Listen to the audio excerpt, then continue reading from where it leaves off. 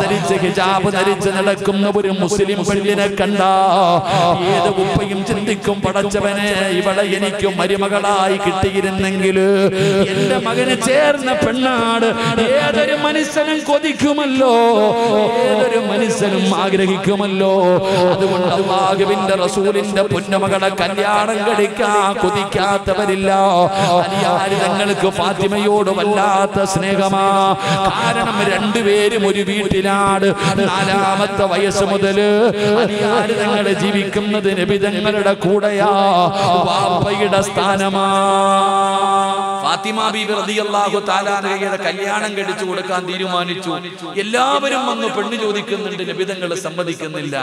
അലിയാര് തങ്ങളാണെങ്കിൽ നബിതങ്ങളുടെ മകളായ ഫാത്തിമാനെ വല്ലാത്ത ഇഷ്ടമാ. ഫാത്തിമയ്ക്കും അങ്ങനെ തന്നെയാ. ഫാത്തിമ ബീവിക്ക് അലിയാര് ഒരിക്കലും നിങ്ങൾ ഇതിന് ദുർവ്യാഖ്യാനം ചെയ്യരുത്. ഇനി പെൺകുട്ടികൾ പറയുന്നുണ്ടോ അലിയാര് നിങ്ങൾ പ്രയണിച്ച കെട്ടിയെന്ന് പറഞ്ഞുകൊണ്ട് പോകരുത് അങ്ങനല്ല. ഫാത്തിമ ബീവിക്കും ഇഷ്ടമാണ് അലിയാര് നിങ്ങൾക്കും ഇഷ്ടമാണ്. അത് പ്രണയമായിരുന്നില്ല. അപ്പൊ ആരോ പറഞ്ഞു അലിയ നീ അറിഞ്ഞോ? നീ അറിഞ്ഞോ? അറിഞ്ഞോ ഫാത്തിമയെ കല്യാണ ആലോചന നടത്താം. ഫാത്തിമ ബീവിയെ കെട്ടിച്ചു കൊടുക്കാൻ തീരുമാനിച്ചു. കല്യാണ ആലോചനയൊക്കെ നടത്തുന്നുണ്ട് നീ ഇങ്ങനെ നടന്നോടാ ചങ്ങാതി. അവൾ പറയുമല്ലോ ഇന്നത്തെ ചെറുപ്പക്കാര് പറയല്ലേ നീ അറിഞ്ഞില്ലേടാ കല്യാണ ആലോചനയൊക്കെ നടക്കാം നീ ഇങ്ങനെ നടന്നോ? ഫാത്തിമ ബീവിയുടെ കല്യാണ ആലോചന നടക്കുന്നു എന്ന് അറിഞ്ഞ പരിയാര് തങ്ങൾ തീരുമാനിച്ചു. ഇനി എന്തായാലും കൊടുവില്ല പോയി ചോദിക്കാം. ചങ്കൂറ്റമായി കൂട്ടുകാർ ഇങ്ങനെ ഇളക്കുമല്ലോ. കൂട്ടുകാർ ഇളക്കുന്ന സമയത്ത് കാമുകിയുടെ വീട്ടിൽ ചെന്നിട്ട് വാപ്പാനോട് പറയും നിങ്ങളുടെ മോളെ എനിക്ക് ഇഷ്ടമാന്ന് പറയാൻ. ഇങ്ങനെ ചങ്കൂറ്റുള്ളവരുണ്ടല്ലോ ഫാത്തിമ ബീവിയെ കുറിച്ച് പറഞ്ഞപ്പോ അലിയാര് തങ്ങൾ പറഞ്ഞു എന്തായാലും തീരുമാനിച്ചു. നബിതങ്ങളോട് ചോദിക്കണം. നേരെ പോയി നബിതങ്ങളുടെ വീട്ടിൽ. അള്ളാഹുവിന്റെ പ്രവാചകൻ സല്ലാ അലൈഹി വസല്ലമ തങ്ങളുടെ വീട്ടിലേക്ക് നേരെ കയറി ചെന്നു. നബിതങ്ങൾ ചോദിച്ചു എന്തേ അലിയെ? എന്തേ അലിയെ? അലിയാര് തങ്ങൾ മിണ്ടണില്ല അലിയാര് തങ്ങളോട് ചോദിച്ചു എന്തേ അലിയെ? വന്നേ? നബിതങ്ങൾ ചോദിച്ചപ്പോ അലിയാര് തങ്ങൾ ഒന്നും മിണ്ടണില്ല കാരണം പോയി ഉള്ള ധൈര്യമൊക്കെ പോയി. അള്ളാഹുവിന്റെ പ്രവാചകൻ തങ്ങൾ ഒരൊറ്റ ചോദ്യം ചോദിച്ചു അലിയെ എന്റെ ഫാത്തിമായ നീ കല്യാണം കഴിക്കൂ. വൈദ്യര് കൽപ്പിച്ചത് രോഗി ഇച്ഛിച്ചത് ഒന്നെന്ന് പറയണ പോലെ നബിതങ്ങൾ അങ്ങോട്ട് ചോദിച്ചു എന്റെ മകൾ ഫാത്തിമാനെ നീ വിവാഹം കഴിക്കൂ. അലിയാര് നിങ്ങൾ വെടി കൊണ്ടതുപോലെ നിന്നിട്ടുണ്ടാവും. അങ്ങോട്ട് തന്നെ ചോദിച്ചു എന്റെ മകളെ നീ വിവാഹം കഴിക്കുമോ? എന്റെ പ്രിയപ്പെട്ട സഹോദരങ്ങളെ അലിയുബിൻ അബി താലിബ് റതിയല്ലാഹു തആലാനുവിന് സ്വപ്നമാണോ? ഇങ്ങനെ നിക്ക വെടി കൊണ്ടതുപോലെ നബിതങ്ങൾ പിന്നെയും ചോദിച്ചു അലിയേ എന്റെ ഫാത്തിമാനെ നിനക്ക് ഇഷ്ടമാണോ? നീ കല്യാണം കഴിക്കാൻ തയ്യാറാണോ? മഹാനായ അലിയുബിൻ നബി താലിബ് റളിയല്ലാഹു തആല തലകുലിക്ക് സമ്മതിച്ചു. നബിതങ്ങൾ അലിയാര് തങ്ങളോട് ചോദിച്ചു അലിയേ നിന്റെ കയ്യിൽ എന്താ ഉള്ളേ? മരുമകനോട് മരുമകനായി തിരഞ്ഞെടുക്കാൻ പോകുന്ന തന്റെ പ്രിയപ്പെട്ട മകളെ കെട്ടിച്ചു കൊടുക്കാൻ പോകുന്ന ചെറുപ്പക്കാരനോട് ചോദിച്ചു നിനക്ക് എന്താ ഉള്ളത്? അലിയബിൻ അബി താലിബ് റളിയല്ലാഹു തആലഹു പറഞ്ഞു നബിയെ എനിക്കൊരു കുതിരയുണ്ട്. എനിക്കൊരു കുതിരയുണ്ട്. ദുൽഫുക്കാർ എന്ന് പറയുന്ന ഒരു മാളുണ്ട്. ഒരു പടയങ്കിയുണ്ട്. ഈ മൂന്ന് സാധനമല്ലാതെ എന്റെ കയ്യിൽ വേറെ ഒന്നുമില്ല. ഉള്ള കാര്യം തുറന്നെന്ന് പറഞ്ഞു. അള്ളാഹു നമുക്ക് ഈമാൻ തരുമാറാകട്ടെ. ഉറക്കപ്പറല്ല ഈമാൻ തരുമാറാകട്ടെ. നമ്മൾ എന്തോ പറയും? രണ്ട് ഏക്കർ സ്ഥലമുണ്ട് ഒരു ഫ്ലൈറ്റ് ഉണ്ട്. ഇല്ലാത്ത കാര്യങ്ങൾ മുഴുവനും പറയും. പക്ഷെ അലിയാരി തങ്ങൾ ഉള്ളത് തന്നെ പറഞ്ഞു ഒരു കുതിര ഒരു വാൾ ഒരു പടയെങ്കി ഇതല്ലാതെ വേറെ ഒന്നുമില്ല. അള്ളാന്റെ റസൂൽ സല്ലാഹു അലഹി വസല്ലമ തങ്ങൾ അലിയാരി തങ്ങളുടെ ജോലി എന്തായിരുന്നു അറിയൂ? അലിയാരി തങ്ങൾ പുല്ല് വെട്ടിയിട്ട് കൊണ്ടുപോയി ഒട്ടകമുള്ള വീടുകളിൽ കൊണ്ടുകൊടുക്കും. കിട്ടുന്ന പൈസ കൊണ്ട് ജീവിക്കും. ഇതാണ് അലിയാരി തങ്ങളുടെ ജീവിതം. എന്റെ പ്രിയപ്പെട്ട സഹോദരങ്ങൾ അള്ളാഹുവിന്റെ പ്രവാചകൻ സല്ലല്ലാഹു അലൈഹി വസല്ലമ തങ്ങൾ ഇത്രയും വലിയ ദരിദ്രനായ ഒരു സ്വഹാബിയെ തെരഞ്ഞെടുത്തതിന്റെ പിന്നിലുള്ള ലക്ഷ്യം ചരിത്രം പഠിക്കും മനസ്സിലാവും. നമ്മൾ അങ്ങനല്ല നമ്മൾ ചോദിക്കുന്നത് പഠിച്ചവനെ മക്കളെ കെട്ടിക്കാൻ പ്രായമായി കഴിഞ്ഞാൽ ചോദിക്കുക ആദ്യം ചോദിക്കും എന്തുണ്ട്? വല്ലത് ഉണ്ടോ? കാശുണ്ടോ? ജോലിയുണ്ടോ? എത്ര വീടുണ്ട്? പണമുണ്ട്? ഇതൊക്കെ നമ്മൾ തിരക്കാം. ദീനുണ്ടോ എന്ന് ആരും ചോദിക്കാറില്ല. ഇവിടെ ചങ്ങാതി പണമല്ല സൗന്ദര്യമല്ല കുടുംബ മഹിമയല്ല. ദീനുണ്ടോ എന്ന് നോക്കണമെന്നാണ്. ദീനുണ്ടോ എന്ന് നോക്കണം. അള്ളാഹുവിന്റെ പ്രവാചകൻ സല്ലല്ലാഹു അലൈഹി വസല്ലമ തങ്ങളോട് അലിയാര് തങ്ങൾ പറയുന്നു യാ റസൂലല്ലാഹ്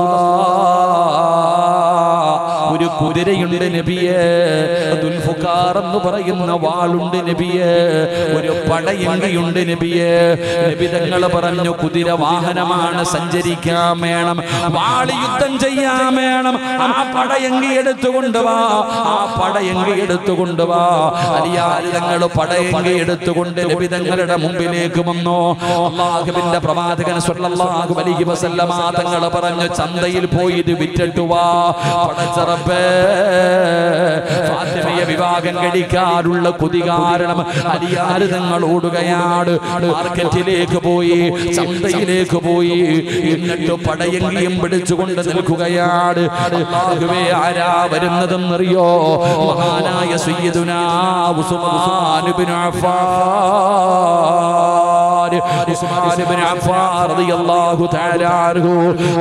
തങ്ങളുടെ ചാരത്ത് വന്നിട്ട് ചോദിക്കുന്നു ഇവിടെ നിൽക്കുന്നത്? എന്തിനാണ്? ഈ പോകാൻ പറഞ്ഞിരിക്കുകയാണ്. കല്യാണം കഴിച്ചു തരാമെന്ന് പറഞ്ഞിരിക്കുകയാണ്. പടയങ്കിയുമായി നിൽക്കുന്ന ഉസ്മാൻ തങ്ങൾ കണ്ടപ്പോ അരിയാര് തങ്ങളോട് പറഞ്ഞു അലിയേ നാനൂറ്റി എൺപത് രൂപ തരാ പടച്ചവനെ ആ പടയങ്കി വാങ്ങിയിട്ട് നാനൂറ്റി എൺപത് രൂപ കയ്യിലേക്ക് കൊടുക്കുകയാണ്. അറിയാറ് ഞങ്ങൾക്ക് വല്ലാത്ത സന്തോഷമായി അവിടെ നിന്ന് തിരിച്ചു പോകാൻ തയ്യാറാകുമ്പോ തങ്ങൾ പറഞ്ഞു അലിയേ. യോദ്ധാവാണ് ഈ പടയെങ്കിൽ നിന്റെ കയ്യിൽ തന്നെ ഇരിക്കട്ടെ. നാനൂറ്റി എൺപത് രൂപയും കൊടുത്തു. ആ പടയെങ്കിയും കൊടുത്തു. മഹാനായ അലിയുബിന് അബി പ്രവാചകന്റെ മുമ്പിലേക്ക് ഓടി വരികയാ. മുമ്പിലേക്ക് ഓടി വരികയാ. നാനൂറ്റി എൺപത് രൂപ കൊണ്ട് വന്ന് മുത്തിനബിയുടെ കയ്യിൽ കൊടുത്തു. അല്ലാഹുവിന്റെ പ്രവാചകൻ പറഞ്ഞു അലിയേ നാനൂറ് ദീർഘം ഫാത്തിമയ്ക്ക് മഹറാണ്. നാനൂറ് ദിർഹം ഫാത്തിമയ്ക്ക് മഹറാണ്.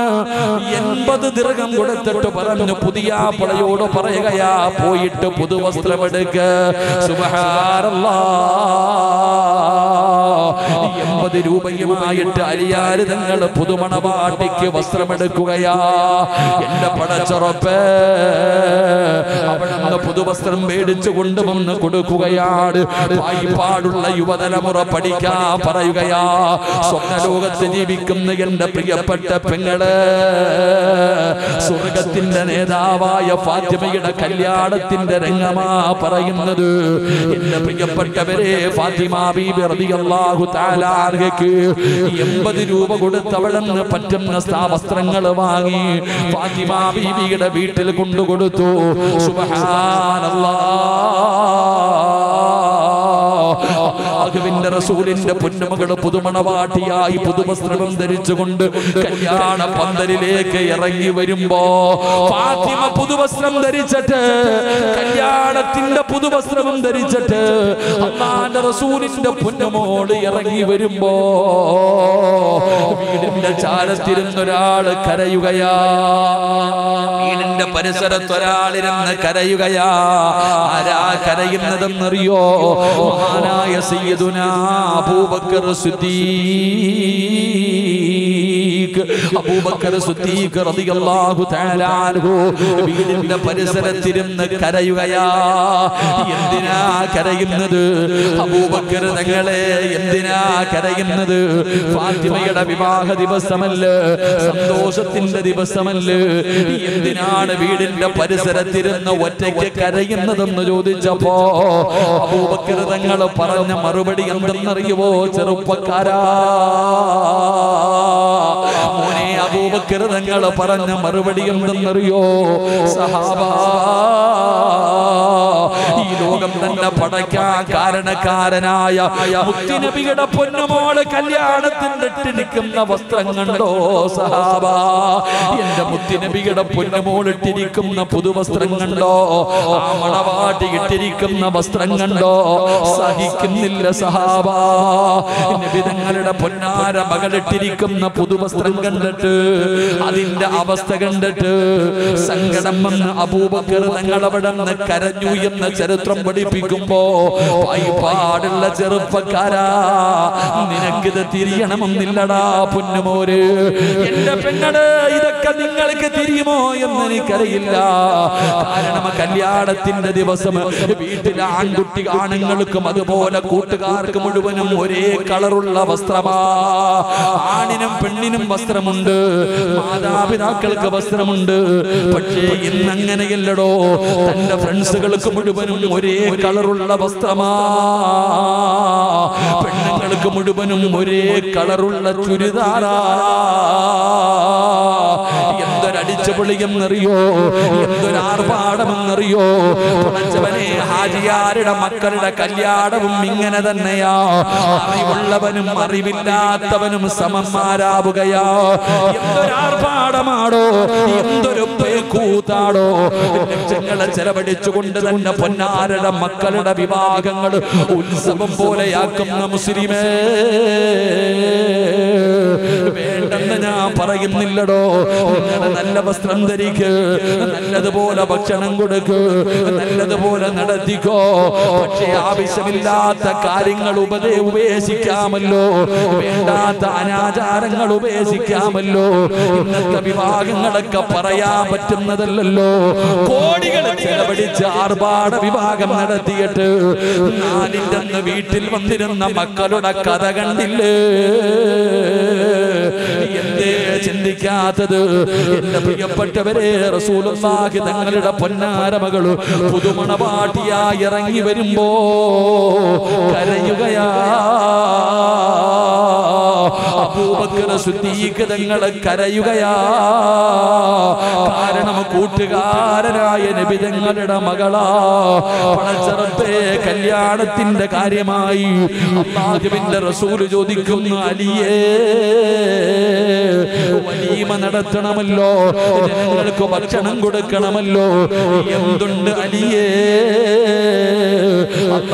റസൂൽ ചോദിക്കുമ്പോ അലിയാര് നിങ്ങളുടെ തലതായിട്ട് നിൽക്കുകയാ? നിക്കാഹ് കഴിഞ്ഞാ പിന്നെ വലീമ കൊടുക്കണം. നബിതങ്ങൾ ചോദിച്ച് എന്തുണ്ട് അലിയെ?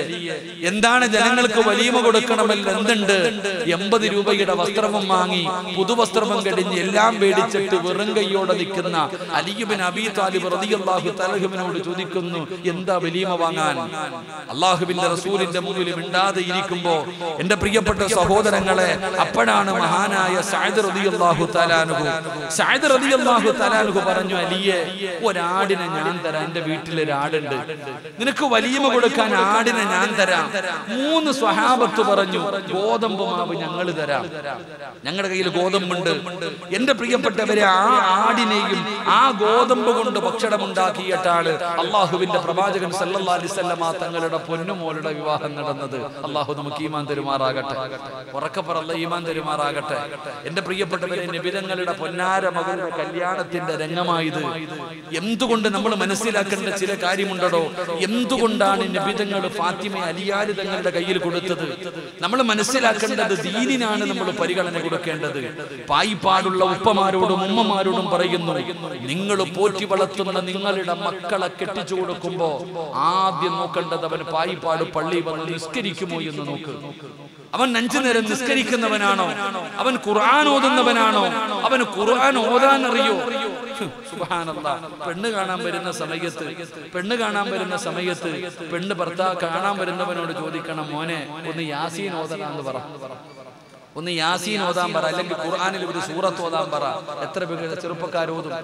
നിസ്കരിക്കുന്നവർ എത്ര പേരാണോ? നിസ്കരിക്കുന്നവന് വേണ്ടിയല്ലേ മക്കളെ കൊടുക്കേണ്ടത്? ദീനല്ലേ പരിഗണിക്കേണ്ടത്? ആ ദീനുള്ളവനാ കൊടുക്കേണ്ടത്? അള്ളാഹുവിന്റെ പ്രവാചകൻ സല്ലല്ലാഹു അലൈഹി വസല്ലമ തങ്ങൾ തന്റെ പൊന്നാര മകളെ കൊടുത്തത് അലി ഇബ്നു അബി താലിബ് എന്ന് പറയുന്ന പാവപ്പെട്ടവനാണ്. അവിടുത്തെ വിവാഹം നടന്നത് ഇങ്ങനാണ്. അതുകൊണ്ട് പായിപ്പാടുള്ള എന്റെ പ്രിയപ്പെട്ട ചെറുപ്പക്കാര് പള്ളികളുടെ ഉദ്ഘാടനവുമായി ബന്ധപ്പെട്ടു. രാവും പകലും ഇവിടെ നടക്കുകയാണ്. അൽഹംദുലില്ലാ വലിയ സന്തോഷമാണ്. ആ മക്കൾ എത്ര നല്ലവരെന്നറിയോ? വല്ലാത്ത അത്ഭുതം തോന്നി. രാത്രി രണ്ട് മണി വരെ മൂന്ന് മണി വരെ എല്ലാവരും പോയി. ചെറുപ്പക്കാർ ഉറങ്ങിയിട്ട് ആഴ്ചകളായടോ. ഈ കമ്മറ്റിക്കാര് പോലെ സുഖമായിട്ട് കിടന്നുറങ്ങുമ്പോ പടച്ചവനെ രണ്ട് മണി വരെ മൂന്ന് മണി വരെ ഈ ചെറുപ്പക്കാര് റബ്ബേ ഇവിടെ നടക്കുകയാ. പൊന്നുമക്കൾക്ക് നീ സ്വർഗം കൊടുക്കണേ അല്ല. പൊന്നുമക്കൾക്ക് സ്വർഗം കൊടുക്കണേ അല്ല. എങ്കിലും ചെറുപ്പക്കാരാ. എന്റെ പായിപ്പാടുള്ള ചെറുപ്പക്കാരോട് പറയുന്നത് എടാ ബെൻസ് കിട്ടുന്നതിൽ കാര്യമില്ലടാ. ഏക്കർ കണക്കിന് സ്ഥലം കിട്ടുന്നതിൽ കാര്യമില്ല. ഗൾഫുകാരന്റെ മകളെ കിട്ടുന്നതിൽ കാര്യമില്ല. ലോകത്തിലെ ഏറ്റവും വലിയ ആണാരെന്നറിയോ? കിട്ടുന്ന ഏറ്റവും വലിയ ഭാഗ്യം എന്തെന്നറിയോ പായിപ്പാടുള്ള ആണുങ്ങളോട് പറയുകയാ പായിപ്പാടുള്ള ഏറ്റവും നല്ല മനുഷ്യനാരെന്നറിയോ? ഏറ്റവും വലിയ ഭാഗ്യവാനാരെന്നറിയോ? ലക്ഷങ്ങളും കോടികളും ചെലവഴിച്ച് വീടുള്ളവനല്ല ഓടിയും ബെൻസും ഫോർച്യൂണറുമുള്ളവനല്ല ലക്ഷക്കണക്കിന് സമ്പത്തുള്ളവനല്ല. ഈ പായിപ്പാടുള്ള ഏറ്റവും വലിയ ഭാഗ്യവാനാരെന്നറിയോ? ഒരു സ്വാലികത്തായ ഭാര്യയെ കിട്ടിയവനാ. ഭാര്യയെ കിട്ടിയവന് ലോകത്തിലെ ഏറ്റവും വലിയ ഭാഗ്യവാനാടോ. കോടികളൊന്നും വേണ്ട ഗ്ലാമറൊന്നും വേണ്ട. എന്തിനാ ഗ്ലാമർ പാടുള്ള ചെറുപ്പക്കാരാ ഗ്ലാമർ നോക്കല്ലേ? ഒരിക്കലും നോക്കരുത്. എടാ തൊലി വെളുത്തതാ ഹൃദയം കറുത്തതാ. പക്ഷേ തൊലി കറുത്തതാ ഹൃദയം വെളുത്തതാ. അതാ ഒരു സഹോദരൻ പറഞ്ഞു ഉസ്താദ് ഇന്നിവിടെ ഒരു ഉമ്മ വന്നോ? എന്നോട് പറഞ്ഞു ഉസ്താദേ മകളെ കാണാ പലരും വരുന്നുണ്ട്. പക്ഷേ നിറങ്കറുത്തതിന്റെ പേരിൽ കല്യാണം നടക്കുന്നില്ല. ആ പൊന്നുപെങ്ങൾ ഈ വയലിന്റെ സദസ്സിലുണ്ട്. ആ പൊന്നുമോളോട് പറയുന്നു സങ്കടപ്പെടല്ലേ? സങ്കടപ്പെടല്ലേ? കറുപ്പിന്റെ വില നിനക്കറിയാഞ്ഞിട്ടാ. വില നിനക്കറിയാനട്ടാ പടച്ചവനെ നിറം കറുത്തതിന്റെ പേരിൽ ഒറ്റപ്പെടുത്തുന്ന ചെറുപ്പക്കാരുണ്ടല്ലോ. പാടുള്ള നിറം കറുത്തു പോയ ചെറുപ്പക്കാരോട് പറയുകയാ എന്തിനാ മോനെ പേടിക്കുന്നത്?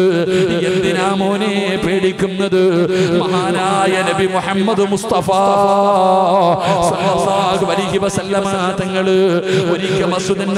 ഒരിക്കൽ കടന്നു ചെന്നപ്പോ അതാ ഒരു ചെറുപ്പക്കാരൻ പള്ളിക്കകത്തിരുന്ന് കരയുകയാ.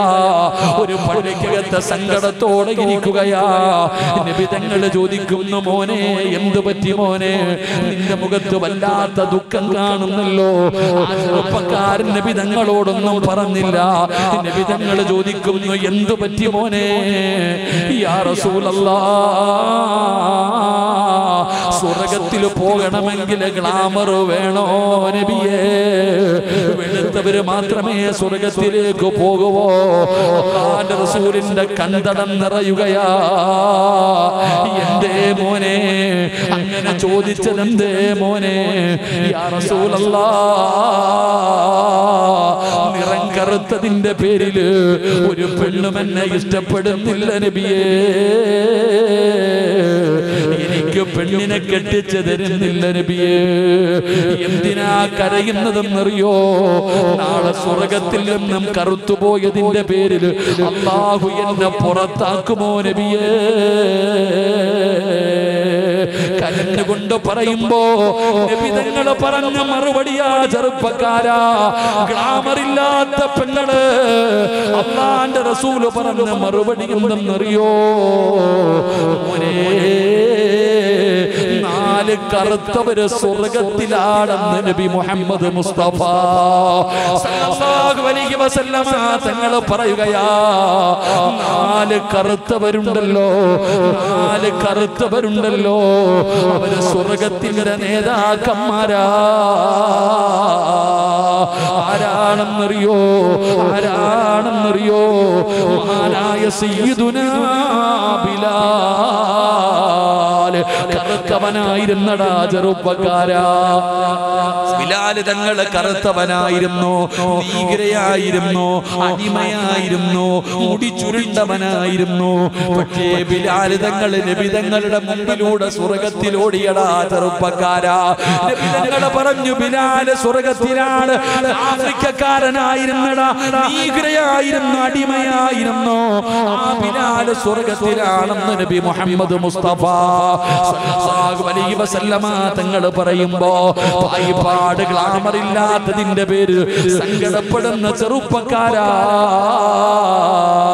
സുന്ദരിയായ ഭാര്യ പറയുന്ന നിങ്ങൾ എനിക്ക് ചേർന്നതല്ല.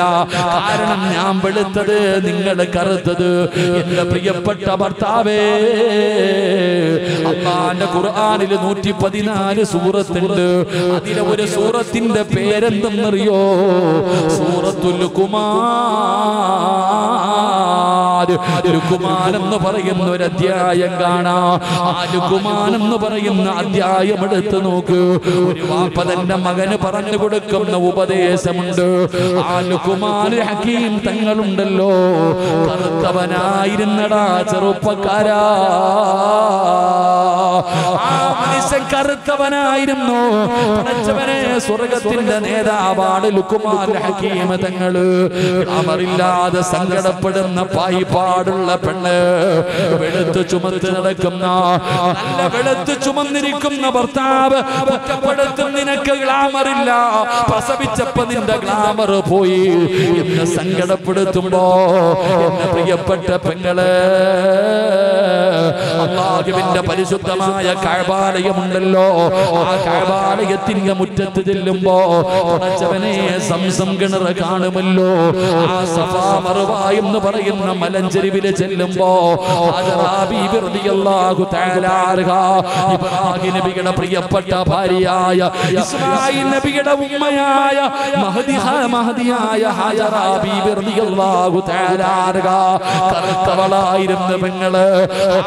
കറുത്തവളായിരുന്നു ഹാജറ കറുത്തവളായിരുന്നു പക്ഷേ ഹൃദയം വെളുത്തു പെങ്ങൾ. ഹൃദയം വെളുത്തതാ പെങ്ങൾ. അതുകൊണ്ട് എന്റെ പ്രിയപ്പെട്ടവരോട് പറയുകയാണ് പാടുള്ള ഏറ്റവും വലിയ ഭാഗ്യവാനാരെന്നറിയോ അവനയിൽ ഒരു സെന്റുള്ളവനല്ലടോ. പാടുള്ള ഏറ്റവും വലിയ ഭാഗ്യവാൻ അവനൊരു ചെറിയ കുടിലാണുള്ളത്. വാടക വീടാവുള്ളത് ആ വീടിനകത്ത് അള്ളാരെ പേടിയുള്ള സ്വാലിഹ. സ്വാലിഹത്തായ ഒരു ഭാര്യയുണ്ടടോ വീട്ടിലേക്ക് കയറി ചെല്ലുമ്പോ ചിരിക്കുന്ന മുഖത്തോട് എന്തേക്കാ താമസിച്ചതെന്ത്? എന്ന് ചിരിക്കുന്ന മുഖത്തോടെ വീടിന്റെ വാതിലിൽ കാത്തു നിന്നിട്ട് അവിടെ വീടിനകത്തേക്ക് വിളിച്ചു കയറ്റി തന്റെ ചുമലിൽ കിടക്കുന്ന ഷാളെടുത്തിട്ട് പള്ളിയിൽ നിന്ന് നിസ്കരിച്ച് വീട്ടിലേക്ക് പോകുന്ന ഭർത്താവിന്റെ നെറ്റിത്തടം ഉയർത്തിരിക്കുകയാ ആ ഭാര്യന്റെ ചോളിൽ കിടക്കുന്ന ഷാളെടുത്തിട്ട് ഭർത്താവിന്റെ നെറ്റിത്തടത്തിലെ വിയർപ്പം തുടച്ചു കൊടുത്തിട്ട് വായിക്കായിരിക്കും പറഞ്ഞ് പിടിച്ചിരുത്തിയിട്ട് ഒരു ഗ്ലാസ് വെള്ളം തരുന്ന ഭാര്യയുണ്ടല്ലോ. നൽകാതെ അവൾ വേറെ ഒന്നും വിളിക്കാറില്ല. ഭർത്താവിനെ ബഹുമാനിക്കുകയാ. ഭർത്താവിനെ ആദരിക്കുകയാ. ഭർത്താവ് പറയുന്നതിനപ്പുറമില്ല. ആരെ പേടിച്ച് ജീവിക്കുന്ന ഒരു ഭാര്യയുണ്ടല്ലോ. എനിക്ക് മൊബൈൽ വേണ്ട വാട്സപ്പ് വേണ്ട യൂട്യൂബ് വേണ്ട ടി വി വേണ്ട സീരിയൽ വേണ്ട. എപ്പോ നോക്കിയാലും അള്ളാഹുവിന്റെ ഖുർആാനും ദിക്കറുകളുമായി ഒരു സ്വാരികത്തായ ഭാര്യ ലഭിച്ച വല്ലാത്ത ഭാഗ്യവാനാ ചെറുപ്പക്കാരാ. കല്യാണം നടന്നു പൊന്നുമോനെ. എന്റെ പ്രിയപ്പെട്ട പെങ്ങൾ. തന്നെ പടയ്ക്കാൻ കാരണക്കാരനായ നിബിതങ്ങളുടെ പൊന്നാര മകളുടെ വിവാഹം കഴിഞ്ഞു. അവിടെ നിന്ന് പുതുമണവാട്ടി ഇറങ്ങി പോവുകയാ. എവിടേക്കാ പോകുന്നതെന്നറിയോ? ആര് ഞങ്ങൾ കുടുംബ വീട്ടിലാണ്. ഉമ്മയുണ്ട് പെങ്ങന്മാരുണ്ട്. എല്ലാവരും താമസിക്കുന്ന ഒരു ചെറിയ വീടാണ്. ആ വീടിന്റെ ഒരു സൈഡിൽ ഈന്തപ്പന ഓലകൾ കൊണ്ടൊരു ചെറിയ റൂം ഉണ്ടാക്കുകയാണ് ഒരു ചെറിയ റൂം ഉണ്ടാക്കുകയാണ് ഈ റൂമിനകത്തേക്കാട് അള്ളാഹുവിന്റെ റസൂലിന്റെ കരളിന്റെ കഷ്ടമായ ഫാത്തിമ ബീബി റളിയല്ലാഹു തആല വീട്ടിലേക്കാണ് കടന്നു പോകുന്നത്. ഈന്തപ്പന ഓലകൾ കൊണ്ടുണ്ടാക്കിയ ചെറിയ റൂമിനകത്ത് അരിയാരിതങ്ങളും ഫാത്തിമയെന്ന് പറയുന്ന പുതുമണവാട്ടിയും കടന്നു പോവുകയാണ്. പടച്ചവനെ മണിയറയ്ക്കകത്ത് കയറി വാതിലടക്കുകയാണ്. ജീവിതത്തിലേക്ക് തുടങ്ങുകയാണ്. ആദിരാത്രി തുടങ്ങുകയാണ്. ഒരാണിന്റെയും പെണ്ണിന്റെയും ജീവിതത്തിലെ ഒരുപാട് സ്വപ്നങ്ങളും മോഹങ്ങളും പൂവടിയുന്ന രാത്രിയാ. അരിയാരിതങ്ങൾക്ക് വലിയ സന്തോഷമായി. തുടച്ചവനെ രണ്ടുപേരും മണിയറയ്ക്കകത്താണ്. മണിയറയുടെ വാതിലടച്ചു. വീടിനകത്ത് കത്തിച്ചു വെച്ചിരിക്കുന്ന വിളക്കിന്റെ തിരിയങ്ങ് താഴ്ത്തുകയാ. അലിയാരിതങ്ങൾ സന്തോഷം കൊണ്ട് തുള്ളിച്ചാടുകയാണ് കാരണം ഫാത്തിമയെ ലഭിച്ചല്ലോ. ഇഷ്ടപ്പെട്ട പെണ്ണിനെ കിട്ടിയല്ലോ. ലോകത്തിലെ ഏറ്റവും വലിയ ഭാഗ്യവാ ഞാനാണല്ലോ. അലിയാരിതങ്ങൾ ബെഡ്റൂമിന്റെ അകത്ത് നിൽക്കുമ്പോ ഒരു കരച്ചൽ കേൾക്കുകയാ. മണിയറക്കകത്തൊരു കരച്ചിൽ കേൾക്കുകയാ. അറിയാതെ തങ്ങൾ ഓടിച്ചെല്ലുന്നു. ആരാ കരയുന്നത്? മഹതിയായ ഫാത്തിമ ബീബിറിയാഹു റളിയല്ലാഹു മണിയറക്കകത്തിരുന്ന് കരയുന്നു പെങ്ങൾ. മണിയറയ്ക്കകത്തിരുന്ന് കരയുകയാ. അറിയാതെ തങ്ങൾ ചോദിക്കുന്നു എന്നെ ഇഷ്ടമായില്ലേ ഫാത്തിമ? ഞാൻ പാവപ്പെട്ടവനായത് കൊണ്ടാണോ എന്നെ ഇഷ്ടപ്പെട്ടില്ലേ ഫാത്തിമ? അറിയാൽ തങ്ങളോട് ഫാത്തിമ പറയുന്ന നിങ്ങളെ ഇഷ്ടപ്പെടാത്ത ഏതെങ്കിലും ഒരു പെണ്ണുണ്ടോ? എനിക്ക് നിങ്ങളെ വല്ലാത്ത ഇഷ്ടമാലിയേ. പിന്നെ എന്തിനാ കരയുന്നേ? പിന്നെ എന്തിനാ കരയുന്നേ? പായിപ്പാടുള്ള പെങ്ങൾ. അള്ളാന്റെ റസൂൽ വളർത്തിയ പൊന്നുമകൾ പറഞ്ഞ മറുപടി എന്തെന്നറിയോ?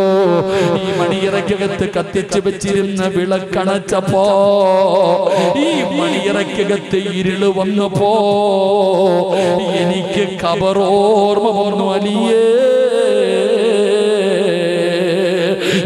എനിക്ക് കബറാ ഓർമ്മ വന്നത്. ഈ റൂമിനകത്ത് അലിയേ നീ എന്റെ കൂടെ ഇരിക്കുമ്പോ ഈ വിളക്കണച്ചപ്പ ഇത്ര ഇരുട്ടാണെങ്കിൽ. അല്ലാഹുവേ പള്ളിപ്പറമ്പിൽ എന്തൊരു ഇരുളാ പടച്ചവര്. എന്തൊരു ഇരുട്ടായിരിക്കും തമ്പുരാന്. അലിയാര് തങ്ങളോട് പറന്നിട്ട് കരയുകയാ. കല്യാണത്തിന്റെ ഒന്നാമത്തെ രാത്രി പുതിയ പെണ്ണ് മണിയിറക്കകത്തിരുന്നിട്ട് കബറിനെ കുറിച്ച് പറയുകയാ. കല്യാണം കഴിഞ്ഞ പെണ്ണ് മണിയറക്കകത്തിരുന്നിട്ട് ഭർത്താവ് ചോദിച്ച് എന്തിനാ കരയണേ? ഇരുട്ട് കണ്ടപ്പോ എനിക്ക് കബർ ഓർമ്മ വന്നു. അള്ളാഹു നമുക്ക് ഈമാൻ തരുമാറാകട്ടെ. അള്ളാഹ് ഈമാൻ തരുമാറാകട്ടെ. പലരും ആലോചിക്കുന്നുണ്ട് പടച്ചവനെ ഞാനും കെട്ടി ഒരെണ്ണത്തിന് വീട്ടിൽ കൊണ്ടുവന്നു. ആലോചിക്കാൻ പോലും വയ്യ. അള്ളാഹു കാക്കുമാറാകട്ടെ. അള്ളാഹു എടും കെട്ടിയിട്ട് മണിയറയിലൊക്കെ പോയല്ലോ. ഒരു പാലെടുക്കും പകുതി ഫിഫ്റ്റി ഫിഫ്റ്റി എല്ലാവർക്കും എല്ലാ ആചാരങ്ങൾ അവിടെ റഹ്മാനായ ഇപ്പത്തെ അവസ്ഥ എന്ന് പറഞ്ഞ കല്യാണം കഴിച്ച് മണിയറക്കകത്ത് പോയിരിക്കുമ്പോ പുതിയ പെണ്ണിനോട് പുതിയാപ്പിള ചോദിക്കും. ഒമ്പതാം ക്ലാസ്സിൽ പഠിച്ചപ്പോ ഒന്നുണ്ടായിരുന്നു. പത്താം ക്ലാസ്സിൽ പഠിച്ചപ്പോ ഒരു പെണ്ണ് സിനിമയ്ക്ക് പോയിട്ടുണ്ട് കറങ്ങാൻ പോയിട്ടുണ്ട് ബീച്ചിൽ പോയിട്ടുണ്ട്. എനിക്കൊരു മൂന്നാൽ ലവ് ഉണ്ടായിരുന്നു. നിനക്കോടി? പുതിയ പെണ്ണിനോട് ചോദിക്കാൻ നിനക്കോ അവൾ അങ്ങോട്ട് എണ്ണാൻ തുടങ്ങി എനിക്ക് ആറാം ക്ലാസ്സിൽ ഒരെണ്ണം ഉണ്ടായിരുന്നു. ഇതാ നമ്മുടെ അവസ്ഥ. നമ്മുടെ അവസ്ഥ. ഇതാ എന്നാൽ ഈ മകൾ പറയാ എനിക്ക് കബർ ഓർമ്മ വന്നിട്ട കരയണേ അലിയാര് അലിയാരി അലിയാര് തങ്ങൾ പറഞ്ഞു ഫാത്തിമ. ഇതാണോ മോളെ ഇന്ന് രാത്രി പറയണ്ട നീ ഇതാണോ പറയണ്ട ഇന്ന് നമ്മുടെ ആദ്യ രാത്രിയ ഇന്ന് നമ്മുടെ മണിയറയാ. അലിയാര് തങ്ങളോട് ഫാത്തിമ ബീവിയോട് ഫാത്തിമ ബീവിയോട് പറയുന്നത് ഇത് പറയേണ്ട സമയമാണിത്. നമ്മുടെ ജീവിതത്തിലെ ഏറ്റവും വലിയ സ്വപ്നങ്ങൾ പൂവണിയുന്ന രാത്രി എപ്പോഴാണോ നീ കബറിനെ കുറിച്ച് പറയാ? നമ്മുടെ മണിയറയല്ലേ? ഇന്ന് നമ്മുടെ ആദ്യ രാത്രിയല്ലേ ഫാത്തിമ പറഞ്ഞു അലിയെ മണിയറ ഇവിടെ അല്ല. മണിയറ ഒലിക്കേണ്ടത് കല്യാണത്തിന്റെ ഒന്നാമത്തെ രാത്രിയല്ല. പായിപ്പാട് പള്ളിയുടെ കബർസ്ഥാനിൽ പോയി കിടക്കുന്ന ഒന്നാമത്തെ രാത്രി അവിടെയാണ് മണിയറ ഒരുക്കേണ്ടത്. അള്ളാഹു ഒരുക്കാൻ ഭാഗ്യം തരുമാറാകട്ടെ. അവിടെയാണോ ഒരുക്കേണ്ടത്? ഇതെങ്ങനല്ല. കല്യാണത്തിന് വന്ന് കുറച്ച് ലൈറ്റും ബൾബും കുറച്ച് പൂക്കളും കെട്ടി എല്ലാം പോകും പക്ഷെ മണിയറ ഒരുക്കേണ്ടത് പായിപ്പാട് പള്ളിയുടെ കബറിസ്ഥാനിൽ നിന്ന് കൊണ്ടുവന്ന് മലത്തി കിടത്തുമ്പോ മുൻകറും നക്കീർ എന്ന് പറയുന്ന രണ്ട് മലക്കുകൾ കബറിനകത്ത് വന്നിട്ട് പറയണം ലം കനൗമത്തിൽ ആറൂസ്. പുതിയ അപ്പള ഉറങ്ങുന്ന പോലെ ഉറങ്ങിക്കോ. പുതിയ പെണ്ണ് ഉറങ്ങുന്നത് പോലെ ഇതിനകത്ത് ഉറങ്ങിക്കോ അതിനൊരു പ്രയോഗമുണ്ട്. കാരണം എന്തേ? ഞാൻ മനസ്സിലാക്കുന്നത് കല്യാണം കഴിഞ്ഞ് പുതിയാപ്പിളയും പുതിയ പെണ്ണും കിടന്നുറങ്ങുന്ന റൂമിലേക്ക് കുട്ടികളെ പോലും വിടൂല. ഇനി വാ അവർ ശല്യപ്പെടുത്തല്ലേ? അവർ ശല്യപ്പെടുത്തല്ല? ആരെയും വിടൂല. കാരണം എന്തേ? അതവരുടെ മണിയറയ. ഇതുപോലെ മലക്കുകൾ പറയുകയാ. ഇതിനകത്ത് കിടന്ന് പുതിയാപ്പിള ഉറങ്ങുന്നത് പോലെ കിയാമത്ത് നാൾ വരെ ഉറങ്ങും. അവിടെയാണ് മണിയറ ഒരുക്കേണ്ടതെന്ന് മഹതിയായ ഫാത്തിമ ബി അള്ളാഹു താലാനഹ അള്ളാഹു നമുക്ക് ഒരുക്കാൻ ഭാഗ്യം തരുമാറാകട്ടെ എന്റെ പ്രിയപ്പെട്ട സഹോദരങ്ങളെ അനിയാര് തങ്ങൾക്ക് ആകെ ഉള്ളത് എന്തെന്നറിയോ? എന്റെ പ്രിയപ്പെട്ട പെങ്ങളെ ഡബിൾ കോട്ട് കട്ടിലില്ല വലിയ ബെഡ്റൂം ഇല്ല അതിനകത്ത് അലങ്കരിക്കുന്ന ലൈറ്റുകളില്ല. ഫാത്തിമ ബി റളിയല്ലാഹു തലാനകയുടെ വീടിനകത്ത് കടന്നുറങ്ങിയത് ഒരാടിന്റെ തോലുണ്ടായിരുന്നു. ഒരാടിന്റെ തോലുണ്ടായിരുന്നു. ഈ തോൽ വിരിക്കും രാത്രി. ഈ തോൽ വിരിച്ചിട്ട് ഈ തോലിന്റെ മുകളിൽ ആ ഫാത്തിമായോ അലിയാരും നിങ്ങളും കിടക്കണം മാർബിൾ ഇല്ല ഗ്രാനൈറ്റ് ഇല്ല തേച്ചിട്ടില്ല ഒന്നുമില്ല കല്ലിന്റെ മുകളിൽ. ഫാത്തിമ ബീവിയുടെ ചരിത്രം പറയുന്നുണ്ട് എഴുന്നേക്കുമ്പോ അടയാളം ഉണ്ടെന്ന്. ഒരാടിന്റെ തോലെടുത്ത് വിരിച്ചിട്ടിട്ട് ഭാര്യയും ഭർത്താവും അതിന്റെ മുകളിൽ കിടക്കും. രാവിലെ എഴുന്നേറ്റ ഇതെടുത്ത് കൊടഞ്ഞിട്ട് ഒട്ടകത്തിന്റെ മുമ്പിൽ കൊണ്ടുവച്ചിട്ട് കുതിരയുടെ മുമ്പിൽ കൊണ്ടുവച്ചിട്ട് തീറ്റിയും വെള്ളം ഇട്ട് കൊടുക്കും. അള്ളാഹു ആയാലും അള്ളാഹു നമുക്ക് ഈ മന്ദിരമാറാകട്ടെ നമ്മുടെ പെണ്ണും പിള്ളയ്ക്ക് എന്ത് വാങ്ങിച്ചു കൊടുത്താലും തികയണില്ല നമ്മുടെ പെണ്ണുങ്ങൾക്ക് എന്ത് വാങ്ങിച്ചു കൊടുത്താലും തിരിയണില്ല കെട്ടിച്ചു വിട്ട വീട്ടിൽ ഇപ്പൊ അവിടെ പ്രശ്നമാ മറ്റേതാ മറിച്ചതാ? വാരി കെട്ടി വന്നേരം മോളെ. വന്നേരെ. വിളിച്ചു വരുത്ത. അള്ളാഹുവിന്റെ പ്രവാചകൻ സല്ലല്ലാഹു അലൈഹി വസല്ലമ തങ്ങൾ എന്റെ പ്രിയപ്പെട്ട സഹോദരങ്ങളെ ഒരിക്കൽ നബിതങ്ങൾ ഫാത്തിമ ബീവിയെ കല്യാണം കഴിച്ചു വിട്ടിട്ട് കാണാൻ പോയി. നിങ്ങളും പോവല്ലോ. കെട്ടിച്ച വീട്ടിൽ മരുമോന്റെ വീട്ടിൽ പോകും. ചെന്ന ഉടനെ ഓൾ പരാതി പറയാ. അള്ളാന്റെ റസൂൽ സല്ലല്ലാഹു അലൈഹി വസല്ലമ തങ്ങൾ ഫാത്തിമ എന്ന് പറയുന്ന പൊന്നുമോളെ കല്യാണം കഴിച്ചു വിട്ടിട്ട് പോയി കാണാൻ ഫാത്തിമ ഓടി വന്നിട്ട് ഉപ്പാന്റെ കൈ പിടിച്ചിട്ട് കരയ. എന്തേ മോളെ? എന്തേ മോളെ? ഭക്ഷണം കഴിച്ചിട്ട് മൂന്ന് ദിവസമായി വാപ്പ ഫാത്തിമ എന്ന പൊന്നുമോൾ നബിതങ്ങളോട് പറയുക നബിതങ്ങളോട് പറയുന്നു ഭക്ഷണം കഴിച്ചിട്ട് മൂന്ന് ദിവസമായി. എല്ലാം വാരി കെട്ടിക്കോ പോകാമെന്നല്ല നബിതങ്ങൾ പറഞ്ഞത്. തന്റെ പൊന്നാര മകൾ ഓടി വന്ന് സങ്കടത്തോടെ പറയാ ഭക്ഷണം കഴിച്ചിട്ട് മൂന്ന് ദിവസമായി വാപ്പാ. അള്ളാന്റെ റസൂൽ വസല്ലമ തങ്ങളെ കെട്ടിപ്പിടിച്ചിട്ട് പറഞ്ഞു വലിയ അബീക അർബവും വാപ്പ വല്ലതും തിന്നിട്ട് നാല് ദിവസമായി വളയും. വാപ്പ അങ്ങോട്ട് പറഞ്ഞെടുക്ക നീ മൂന്ന് ദിവസമല്ല ഞാൻ നാല് ദിവസമായി വല്ലതും തിന്നിട്ട്. ആരാരെയാടോ സമാധാനിപ്പിക്കുന്നത് ഇതാണോ കുടുംബജീവിതം? ഇങ്ങനെ വാപ്പയാകണ്ടേ. പായിപ്പാടുള്ള വാപ്പ നിന്റെ തുള്ളലും ബഹളവും നിന്റെ ബി പിയും കാണിക്കേണ്ടത് നിന്റെ വാശിപ്പുറത്തല്ലേ നിന്റെ മോളുടെ ജീവിതം പോയത്? ഈ പള്ളി വന്നിട്ട് എത്ര തലാക്ക് ഞാൻ പറയാൻ കിട്ടുന്ന അവസരം? ഇതൊരു വയൽ കിട്ടിയിട്ടില്ലല്ലോ. ഈ പായിപ്പാടുള്ള പെൺകുട്ടികളുടെ ജീവിതം തുലച്ചത് ഈ വാപ്പമാരുടെയും ഈ ഉമ്മമാരുടെയും വാശിയ സഹോദര. എത്ര എണ്ണം എന്താ കമ്മിറ്റിക്കാരൻ നിരന്നിരിക്കുന്നത് ഒറ്റ ഒരെണ്ണത്തിന് ഞാൻ കയറത്തില്ല. കാരണം എന്തേ? ആ പാപം കൂടെ വലിച്ചു വെക്കാൻ വയ്യ. അള്ളാഹു കാത്തിരക്ഷിക്കുമാറാകട്ടെ. അതാ പറയുന്ന സ്ഥലമാണ്. ഒരു കാരണവശാലും പായിപ്പാട് പള്ളിയിൽ തലാക്ക് കൊടുക്കരുത്. പായിപ്പാട് പള്ളി എന്നല്ല ഒരു പള്ളിയിൽ കൊടുക്കരുത്. കാരണം തലാക്ക് പറയുമ്പോൾ അള്ളാഹുവിന്റെ അറിശു കുലുങ്ങുന്ന ഒരാൾ തന്റെ ഭാര്യ തലാക്ക് പറയുമ്പോ അള്ളാഹുവിന്റെ അറുഷു കുലുങ്ങുന്ന ഇതിന് സാക്ഷിയായിരിക്കുന്നതൊക്കെ നിന്റെയൊക്കെ ജീവിതത്തിൽ അള്ളാഹു കാക്കുമാറാകട്ടെ. അള്ളാഹ് തലാക്ക് പറയുന്ന സമയം അള്ളാന്റെ അറുഷു കുലുങ്ങോ പറ മനുഷ്യന്മാരെ കുലുങ്ങോ കുലുങ്ങോ. ദാ കുമ്പറയ്ക്ക് കുമ്പ്രയ്ക്ക് പോയിട്ട് വന്നു. എടോ നമ്മൾ അബ്രഹത്തിന്റെ ആനപ്പടയെ അള്ളാഹു തകർത്ത സ്ഥലമാ മക്കത്ത് പോകുമ്പോ കാണാം. തബ്ബത്തി യഥാ അബീൽ ഹബീം വതബ്ബ് നമുക്കറിയാലോ അവിടെ പോയി കാണില്ലേ? അവിടെ അള്ളാഹുവിന്റെ അദാബ് ഇറങ്ങിയ സ്ഥലം. അവിടെ ചെല്ലുമ്പോ ബസ്സിനകത്ത് ഇരുന്നിട്ട് പറയും ഇവിടെയാണ് അള്ളാഹുവിന്റെ ഇതിറങ്ങിയത് അബാബിയിൽ പക്ഷികൾ ഇറങ്ങിയിട്ട് അബ്രഹത്തിന്റെ ആനപ്പടയെ അള്ളാഹു തകർത്ത് കളഞ്ഞ സ്ഥലം ഇതാ. ആരും ഇറങ്ങാറില്ല. കാരണം എന്തേ? അള്ളാന്റെ അദാബ് ഇറങ്ങിയ സ്ഥലമായത് കാരണം. അള്ളാഹുവിന്റെ അതാബ് ഇറങ്ങിയ സ്ഥലമായത് കാരണം ഇതുപോലെ തലാക്ക് പറയുന്ന സമയം അള്ളാഹുവിന്റെ അറിഷ കുലുങ്ങും ആ മജിലിസിൽ ഇരിക്കുന്ന സെക്രട്ടറിയും പ്രസിഡന്റും സൂക്ഷിച്ചോ? അള്ളാഹു കാത്തിരക്ഷിക്കുമാറാകട്ടെ. ഉറക്കപ്പുള്ള കാത്തിരക്ഷിക്കുമാറാകട്ടെ എടാ വേണ്ടെങ്കിൽ നീ കോടതി ഇപ്പോ പറഞ്ഞു വിടണം? ഇവിടെ തലാക്കൊന്നുമില്ല ഓടി വരിക. ഈ അടുത്തങ്ങോട്ട് നോക്കുമ്പോ ഒരു പ്രായജനാക്ക് വേണ്ടെങ്കിൽ കോടതി പോകണം നമുക്ക് മസ്ലഹത്ത് മാത്രമേ ഉള്ളൂ. ഭാര്യയും ഭർത്താവിനെയും ഒരുമിപ്പിക്കാനാണ് നോക്കണം. ഒരുമിപ്പിക്കാൻ വേണ്ടി ചെയ്യാം. അതിനപ്പുറം ഒന്നുമില്ല. ആരും അത് പ്രതീക്ഷിച്ചിട്ട് ഇങ്ങോട്ട് വരാൻ വേണ്ട. അള്ളാഹു ഈമാൻ തരുമാറാകട്ടെ അല്ല ഈമാൻ തെരുമാറാകട്ടെ. ഇവിടെ അങ്ങനെ ഇല്ലടോ വേണ്ടവര് പൊക്കോ കോടതി പൊക്കോ മേടിച്ചോ പള്ളികളിൽ കൊടുക്കുന്ന പരിപാടി നിർത്തണം. ഇതൊക്കെ നിർത്തണം. ചുമ്മാതെ ഒരു വിവരമില്ലാത്തവനാ തലാക്ക് കൊടുക്കണം വലിയ മഹാനോട്. ദീനിന്റെ ഒരു നിയമം അറിയാത്തവന് മസ്തലകൾ പറഞ്ഞു കൊടുക്കുക. അള്ളാഹു കാത്തിരിശുകുമാറാകട്ടെ എന്റെ പ്രിയപ്പെട്ട സഹോദരങ്ങളെ വാപ്പ പറഞ്ഞു കൊടുക്കുക. വാപ്പാന്റെ അടുക്കൽ ചെന്നിട്ട് പരാതി പറയണു ഉപ്പ ഞാൻ വല്ലതും തിന്നിട്ട് മൂന്ന് ദിവസമായി. വാപ്പ പറയുന്നു ഞാൻ നാല് ദിവസമായി. ഇങ്ങനാകണം വാപ്പ. അള്ളാഹു ഈമാൻ തെരുമാറാകട്ടെ.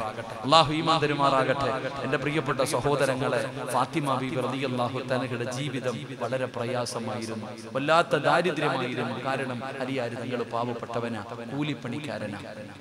കൂലിപ്പണിക്കാരനാ. നിനക്ക് നിർത്താറായ? എനിക്ക് ഞാൻ എനിക്കൊന്ന് ഉറങ്ങളെക്കാളും ഉറങ്ങണമെന്ന് എനിക്ക് ആഗ്രഹം. ഞാൻ കിടന്ന ഉറങ്ങിപ്പോവാം ഇൻഷാ അല്ലാ. നാളെ ദിവസം നാളത്തെ ഒരു ദിവസം കൂടെ കഴിഞ്ഞിട്ട് വേണം ഒരാഴ്ച ലീവ് എടുത്ത് എങ്ങോട്ടെങ്കിലും പോവാൻ. എങ്ങോട്ടെങ്കിലും ഒന്ന് പോയി ഉറങ്ങാം നാളത്തെ നാളെ ഈ സമയമാകുമ്പോഴത്തേക്ക് തീരുമായിരിക്കില്ല ഇൻഷാ അല്ലാ. അള്ളാഹു ബർക്കത്ത് ചെയ്യുമാറാകട്ടെ. നാളെ വയലൊന്നും ഇല്ല കേട്ടാ ഇന്നും കൂടെ ഉള്ളു. ചുമ്മാ രണ്ടു ദിവസം വയലുണ്ട് നാര്. ഇന്നും കൂടെ വയലുണ്ട്. നാളെ ഇൻഷാല്ല ദുബായ. അള്ളാഹു ബർക്കത്ത് ചെയ്യുമാറാകട്ടെ. എന്റെ പ്രിയപ്പെട്ട സഹോദരങ്ങളെ എന്റെ പ്രിയപ്പെട്ട സഹോദരിമാരെ അള്ളാഹുവിന്റെ റസൂലിന്റെ പൊന്നുമോൾ വീട്ടിലിരിക്കുമ്പോ അള്ളാന്റെ റസൂലിന്റെ പൊന്നുമോൾ വീടിനകത്തിരിക്കുകയാണ്. വല്ലാത്ത പ്രയാസമാ ദാരിദ്ര്യമാ ദുഃഖമാ. അപ്പോഴാണ് ഒരു ദിവസം ജോലി കഴിഞ്ഞ് ഭർത്താവ് വീട്ടിലേക്ക് കയറി വരികയാണ്. അലിയാരി നിങ്ങൾ വീട്ടിലേക്ക് കടന്നു വന്നു. ഫാത്തിമ എന്റെ അടുക്കലേക്കൊന്നു വാ ഫാത്തിമ. ഭർത്താവ് തന്റെ ഭാര്യ സ്നേഹത്തോടെ വിളിക്കുകയാണ് അടുത്തുകൊണ്ടിരിക്കുകയാണ്. തന്റെ ഭർത്താവിന്റെ അടുക്കൽ പിടിച്ചിരുത്തിയിട്ട് അലിയാര് തങ്ങൾ ചോദിക്കുന്നു ഫാത്തിമ നമുക്ക് സ്വന്തമായിട്ടൊരു വീട് വേണ്ടേ ഫാത്തിമ? സാധാരണ പറഞ്ഞ ഭാര്യ ഭർത്താവിനോട് ചോദിക്കുന്ന ചോദ്യം പഠിച്ചവരെ കുടുംബ വീട്ടിൽ ചെന്നു കല്യാണം കഴിഞ്ഞു ഒരു മാസം കഴിഞ്ഞു. ഭർത്താവിനോട് ഭാര്യ പറയും നമുക്ക് സ്വന്തമായിട്ടൊരു വീട് വേണ്ടേ? ഇവിടെ നിന്ന് മാറണ്ടേ? ഇവിടെ നിന്ന് മാറണ്ടേ? സ്നേഹം കൊണ്ടല്ലടോ? ഉമാനയും ഉപ്പാനയും നോക്കാൻ പറ്റാത്തത് കാരണം പ്രായം ചെന്ന മാതാപിതാക്കൾക്ക് വെച്ച് വിളമ്പാൻ പറ്റാത്തത് കാരണം പടച്ചവനെ അതുകൊണ്ട് പെണ്ണുങ്ങളാണ് പറയാറ്. പക്ഷേ ഇവിടെ ഭർത്താവ് ചോദിക്കുന്നു ഫാത്തിമ സ്വന്തമായിട്ടൊരു വീട് വേണ്ടേ? ഫാത്തിമ. ഇത് പറഞ്ഞപ്പോ ഇത് പറഞ്ഞപ്പോ ഫാത്തിമ ബീവി റളിയല്ലാഹു പറയുന്നു എനിക്കും ഒരാഗ്രഹമുണ്ട് എനിക്കും ഒരാഗ്രഹമുണ്ട് ഈ വീട്ടിൽ നിന്ന് ഉമ്മയെയും സഹോദരങ്ങളുടെ ഇടയിൽ നിന്ന് വലിച്ചു കൊണ്ടുപോകാനുള്ള കൊതി കാരണമല്ല. എനിക്കിവിടെ നിന്ന് മാറണമെന്നുണ്ട്. ഈ വീടിനകത്ത് നിന്ന് മാറിയിട്ട് ഒറ്റയ്ക്ക് പോയി താമസിക്കണമെന്ന് എനിക്ക് ആഗ്രഹമുണ്ടരിയേ ഉമ്മാനെ നോക്കാൻ പറ്റാത്തത് കൊണ്ടല്ല കൂടപ്പറപ്പുകൾക്ക് വെച്ച് വിളമ്പാൻ പറ്റാത്തത് കൊണ്ടല്ല പിന്നെ എന്തിനാണ് വീട് മാറണമെന്ന് പറയുന്നതെന്നറിയോ? ഫാത്തിമ ബീബി റളിയല്ലാഹു തആല അൻഹ കരഞ്ഞുകൊണ്ട് അരിയാൽ തങ്ങളോട് പറയുന്നു അലിയേ ഞാനും എന്റെ മക്കളും പട്ടിണി കിടക്കുന്നത് കാണുമ്പോ നിങ്ങളുടെ ഉമ്മായിക്ക് സങ്കടം വരുന്നു അലിയേ. നിങ്ങളുടെ കൂടപ്പുറപ്പുകൾക്ക് താങ്ങാൻ പറ്റുന്നില്ല. അള്ളാന്റെ റസൂലിന്റെ മകളായ ഞാനും മക്കളും ഈ വീടിന്റെ റൂമിനകത്ത് പട്ടിണി കിടക്കുന്നത് കണ്ടപ്പോ നിങ്ങളുടെ ഉമ്മായിക്ക് വേദനിക്കുന്നു. നിങ്ങളുടെ സഹോദരിമാർക്ക് വേദനിക്കുന്നു. എന്തിനാ നമ്മുടെ അവസ്ഥ അവരറിയുന്നത്? നമ്മൾ പട്ടിണി കിടക്കുന്നത് അവരെന്തിനറിയുന്നത്? എന്തിനാ അവരെ വേദനിപ്പിക്കുന്നത്? അതുകൊണ്ട് നമുക്കിവിടെ നിന്ന് മാറാമലിയേ. എനിക്കും ആഗ്രഹമുണ്ട് ഇവിടെ നിന്നും മാറാൻ. എന്റെ പായിപ്പാടുള്ള പെങ്ങൾ ഭർത്താവിന്റെ പ്രായം ചെന്ന ഉമ്മയ്ക്ക് വെച്ച് വിളമ്പാൻ പറ്റാത്തതിന്റെ പേരിൽ വളരെ സ്നേഹത്തോടെ ജീവിച്ചിരുന്ന കൂടപ്പറപ്പുകളെ തമ്മി തല്ലിപ്പിച്ച പെങ്ങന്മാരില്ലേ? അള്ളാഹുവേ സ്നേഹത്തോടെ ജ്യേഷ്ഠനും മനുജനുമായി ഒരു വീടിന്റെ അകത്ത് സന്തോഷത്തോടു കൂടി കഴിഞ്ഞ എത്രയോ കുടുംബങ്ങളെ തകർത്ത പെണ്ണുങ്ങളില്ലേ? എന്ത് സന്തോഷത്തോടെ ജീവിച്ചവരാ? കല്യാണം കഴിഞ്ഞു ഒരു മാസം കഴിഞ്ഞു. പടച്ചവനെ എനിക്ക് മാറണം എനിക്ക് മാറണം. കാരണം എന്തെന്നറിയോ ഇവനെ ഒറ്റയ്ക്ക് കൊണ്ടുപോകണം. ഈ ബന്ധത്തിൽ നിന്ന് മുറിച്ച് ഒറ്റയ്ക്ക് കൊണ്ടുപോകണം. അവിടെ ചെന്ന ഉപ്പാന് വെച്ച് വിളമ്പണ്ട ഉമ്മയ്ക്ക് വെച്ച് വിളമ്പണ്ട കൂടപ്പറപ്പിന് വിളമ്പണ്ട അങ്ങനെയല്ല സഹോദരി അങ്ങനെയല്ല സഹോദരി. ഫാത്തിമ പറയുകയാ നിബിതങ്ങളുടെ മകയായ ഞാനും എന്റെ മക്കളും പട്ടിണി കിടക്കുന്നത് കണ്ടിട്ട് ഇവർ കരയുകയാ അവർ സങ്കടപ്പെടുകയാ. എന്റെ കാര്യം അവരറിയണ്ടല്ലോ. അതുകൊണ്ട് ഞാനും ആഗ്രഹിക്കുന്നു ഇവിടെ നിന്നൊന്നു മാറാൻ. ഫാത്തിമ ചോദിക്കുന്നു പൈസ ഇല്ലല്ലോ വീട് വെക്കാൻ എന്ത് ചെയ്യും അലിയെ? വാടക വീട് പോലും വാങ്ങാൻ പൈസ ഇല്ലല്ലോ അപ്പോഴാണ് അലിയാര് തങ്ങൾ പറയുന്നു ഫാത്തിമ നിന്റെ ഉപ്പാന വല്ലാതെ ഇഷ്ടപ്പെടുന്ന ഹാരിസത്ത് പുനരുമാര് നിന്റെ ഉപ്പയെന്ന് എന്ന് പറഞ്ഞ ജീവനാ നബിതങ്ങളെ വല്ലാതെ സ്നേഹിക്കുന്ന സ്വഹാബിയ. ഹാരിസത്ത് പുനരുമാൻ എന്ന് പറയുന്ന സ്വഹാബിക്ക് രണ്ട് വീടുണ്ട്. ഒരു വീട് വെറുതെ കിടക്കുകയാണ്. ഒരു വീട് വെറുതെ കിടക്കുകയാണ്. ഉപ്പാന്റെ അടുക്ക പോയി പറഞ്ഞ ആ വീട് നിബിതങ്ങൾ നമുക്ക് വാങ്ങിത്തരും. അതുകൊണ്ട് നീ വാപ്പാന്റെ അടുക്കലൊന്ന് പോയി പറയണേ പലതും പറഞ്ഞു വിടും പെങ്ങൾ. ഉപ്പാന സോപ്പിട്ട് വാങ്ങിച്ചു കൊണ്ടുവരാ പറഞ്ഞു വിടുവല്ലോ. പണച്ചറപ്പേ വീട്ടിൽ ചെന്ന് ഭർത്താവിനെ വേദനിപ്പിക്കുന്ന പെങ്ങന്മാരോട് തന്ന് നിന്നെയൊക്കെ കെട്ടിച്ചു വിട്ടിട്ട് ഭർത്താവിന്റെ ആർത്തി കാരണം പിന്നെയും കുടുംബത്തിൽ കയറിയിട്ട് അവകാശം ചോദിക്കുന്ന പെങ്ങളുണ്ടല്ലോ. ഒരുപാട് സഹോദരിമാരുണ്ടല്ലോ. പറയുന്നത് ചോദിക്കല്ല പെങ്ങൾ. ഇത് പായിപ്പാടുള്ള പെങ്ങന്മാർക്കുള്ളതാ. പാപ്പമാര് കഷ്ടപ്പെട്ട് ഇരുപതും ഇരുപത്തഞ്ചും അമ്പതും പവനും തന്ന് ലക്ഷങ്ങൾ ചെലവഴിച്ച് കെട്ടിച്ചു വിടും.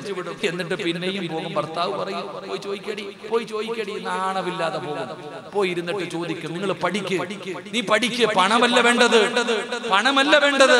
അള്ളാഹുബിന്റെ റസൂൽ സല്ലല്ലാഹു അലൈഹി വസല്ലമ തങ്ങളുടെ പൊന്നാര മകളോട് പറഞ്ഞു ചോദിക്കാൻ. ഫാത്തിമ ബീബി റളിയല്ലാഹു തആല മനസ്സില്ല മനസ്സോടെ കടന്നുപോയി. ഫാത്തിമയ്ക്ക് മനസ്സില്ലായിരുന്നു. എങ്കിലും ഭർത്താവ് പറഞ്ഞതാണല്ലോ അങ്ങനെ അള്ളാന്റെ റസൂലിന്റെ വീട്ടിലേക്ക് പൊന്നാര മകൾ കടന്നു ചെല്ലുമ്പോ ഞങ്ങൾക്ക് വല്ലാത്ത സന്തോഷമായി എഴുന്നേറ്റ് നിന്നു. മകൾ വന്നാ നബിതങ്ങൾ എഴുന്നേക്കും. പള്ളിയിലെ ഉസ്താദ് വരുമ്പോ വിദ്യാർത്ഥികൾ എഴുന്നേക്കുന്നത് പോലെ നബിതങ്ങൾ എഴുന്നേക്കുകയാ. കല്യാണം കഴിച്ച് വിട്ട പൊന്നാര മകളുടെ നെറ്റിത്തടത്തിൽ ഉമ്മ കൊടുക്കുകയാ. അടുത്തു പോയി ഫാത്തിമ പറഞ്ഞു വാപ്പാ വല്ലാത്ത പ്രയാസമോ? എനിക്കും എനിക്കും എന്റെ ഭർത്താവിനും ഹസനും ഹുസൈനും എല്ലാവർക്കും ഒരുമിച്ച് ജീവിക്കാനുള്ള സൗകര്യമില്ല.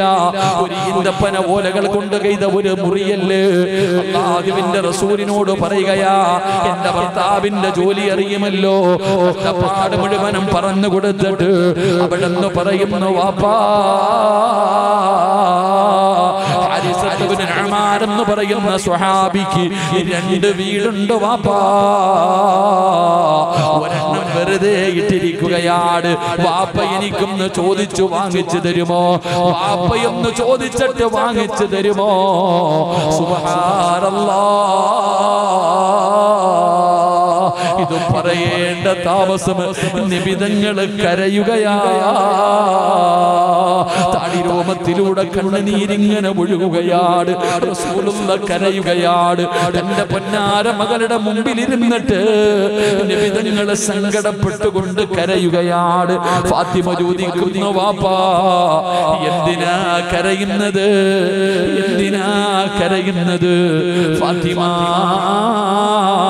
നിന്റെ ഉപ്പ ഇന്നുവരെ ഒരാളുടെ മുമ്പിലും കൈനീട്ടിയിട്ടില്ല നിന്റെ വാപ്പ ഇന്നുവരെ ഒരാളുടെ മുമ്പിലും കൈനീട്ടിയിട്ടില്ല എനിക്ക് ലജ്ജയാ മോളെ. ആ സഹാബിയുടെ അടുക്കൽ ചെന്നിട്ട് എന്റെ പൊന്നുമോക്കൊരു വീട് കൊടുക്കണേ എന്ന് ചോദിക്കാൻ എനിക്ക് ലജ്ജയാ മോളെ. അള്ളാന്റെ റസൂൽ അവിടെ നിന്ന് കരഞ്ഞുകൊണ്ട് പറയുമ്പോ ഫാത്തിമ ബീബി പറഞ്ഞു ചോദിക്കണ്ട വാപ്പാ എന്റെ ഉപ്പ ഒരാളുടെ മുന്നിലും താഴരുത്. എന്റെ ഉപ്പ ഒരാളോടും ചോദിക്കരുത്. ഉപ്പാന്റെ മനസ്സ് വേദനിപ്പിച്ച് എനിക്ക് പൊരുത്തം തരണം. ഫാത്തിമ ബീവി കെട്ടിപ്പിടിച്ചു പൊരുത്തം ചോദിച്ചു. അവിടെ നിന്ന് വീട്ടിൽ നിന്ന് ഇറങ്ങി പോകുമ്പോ ഒരു സ്വഹാബീതെല്ലാം കേട്ടുകൊണ്ട് നിൽക്കുകയാണ്. നിബിതങ്ങളുടെ വീടിനകത്ത് നടന്നത് മുഴുവനും കേട്ടുകൊണ്ട് നിൽക്കുകയാ. ആ സ്വഹാബി ഓടുകയാണ്. ഹാരിസത്തുബിന് എന്ന് പറയുന്ന സ്വഹാബിയുടെ അടുത്ത് ചെന്നു. നടന്നത് മുഴുവനും പറഞ്ഞു കൊടുത്തു പൊട്ടിക്കരഞ്ഞുകൊണ്ട് ഇലാഹ നബി തങ്ങളുടെ മുമ്പിലേക്ക് ഹാരിസ ഓടി വന്നു.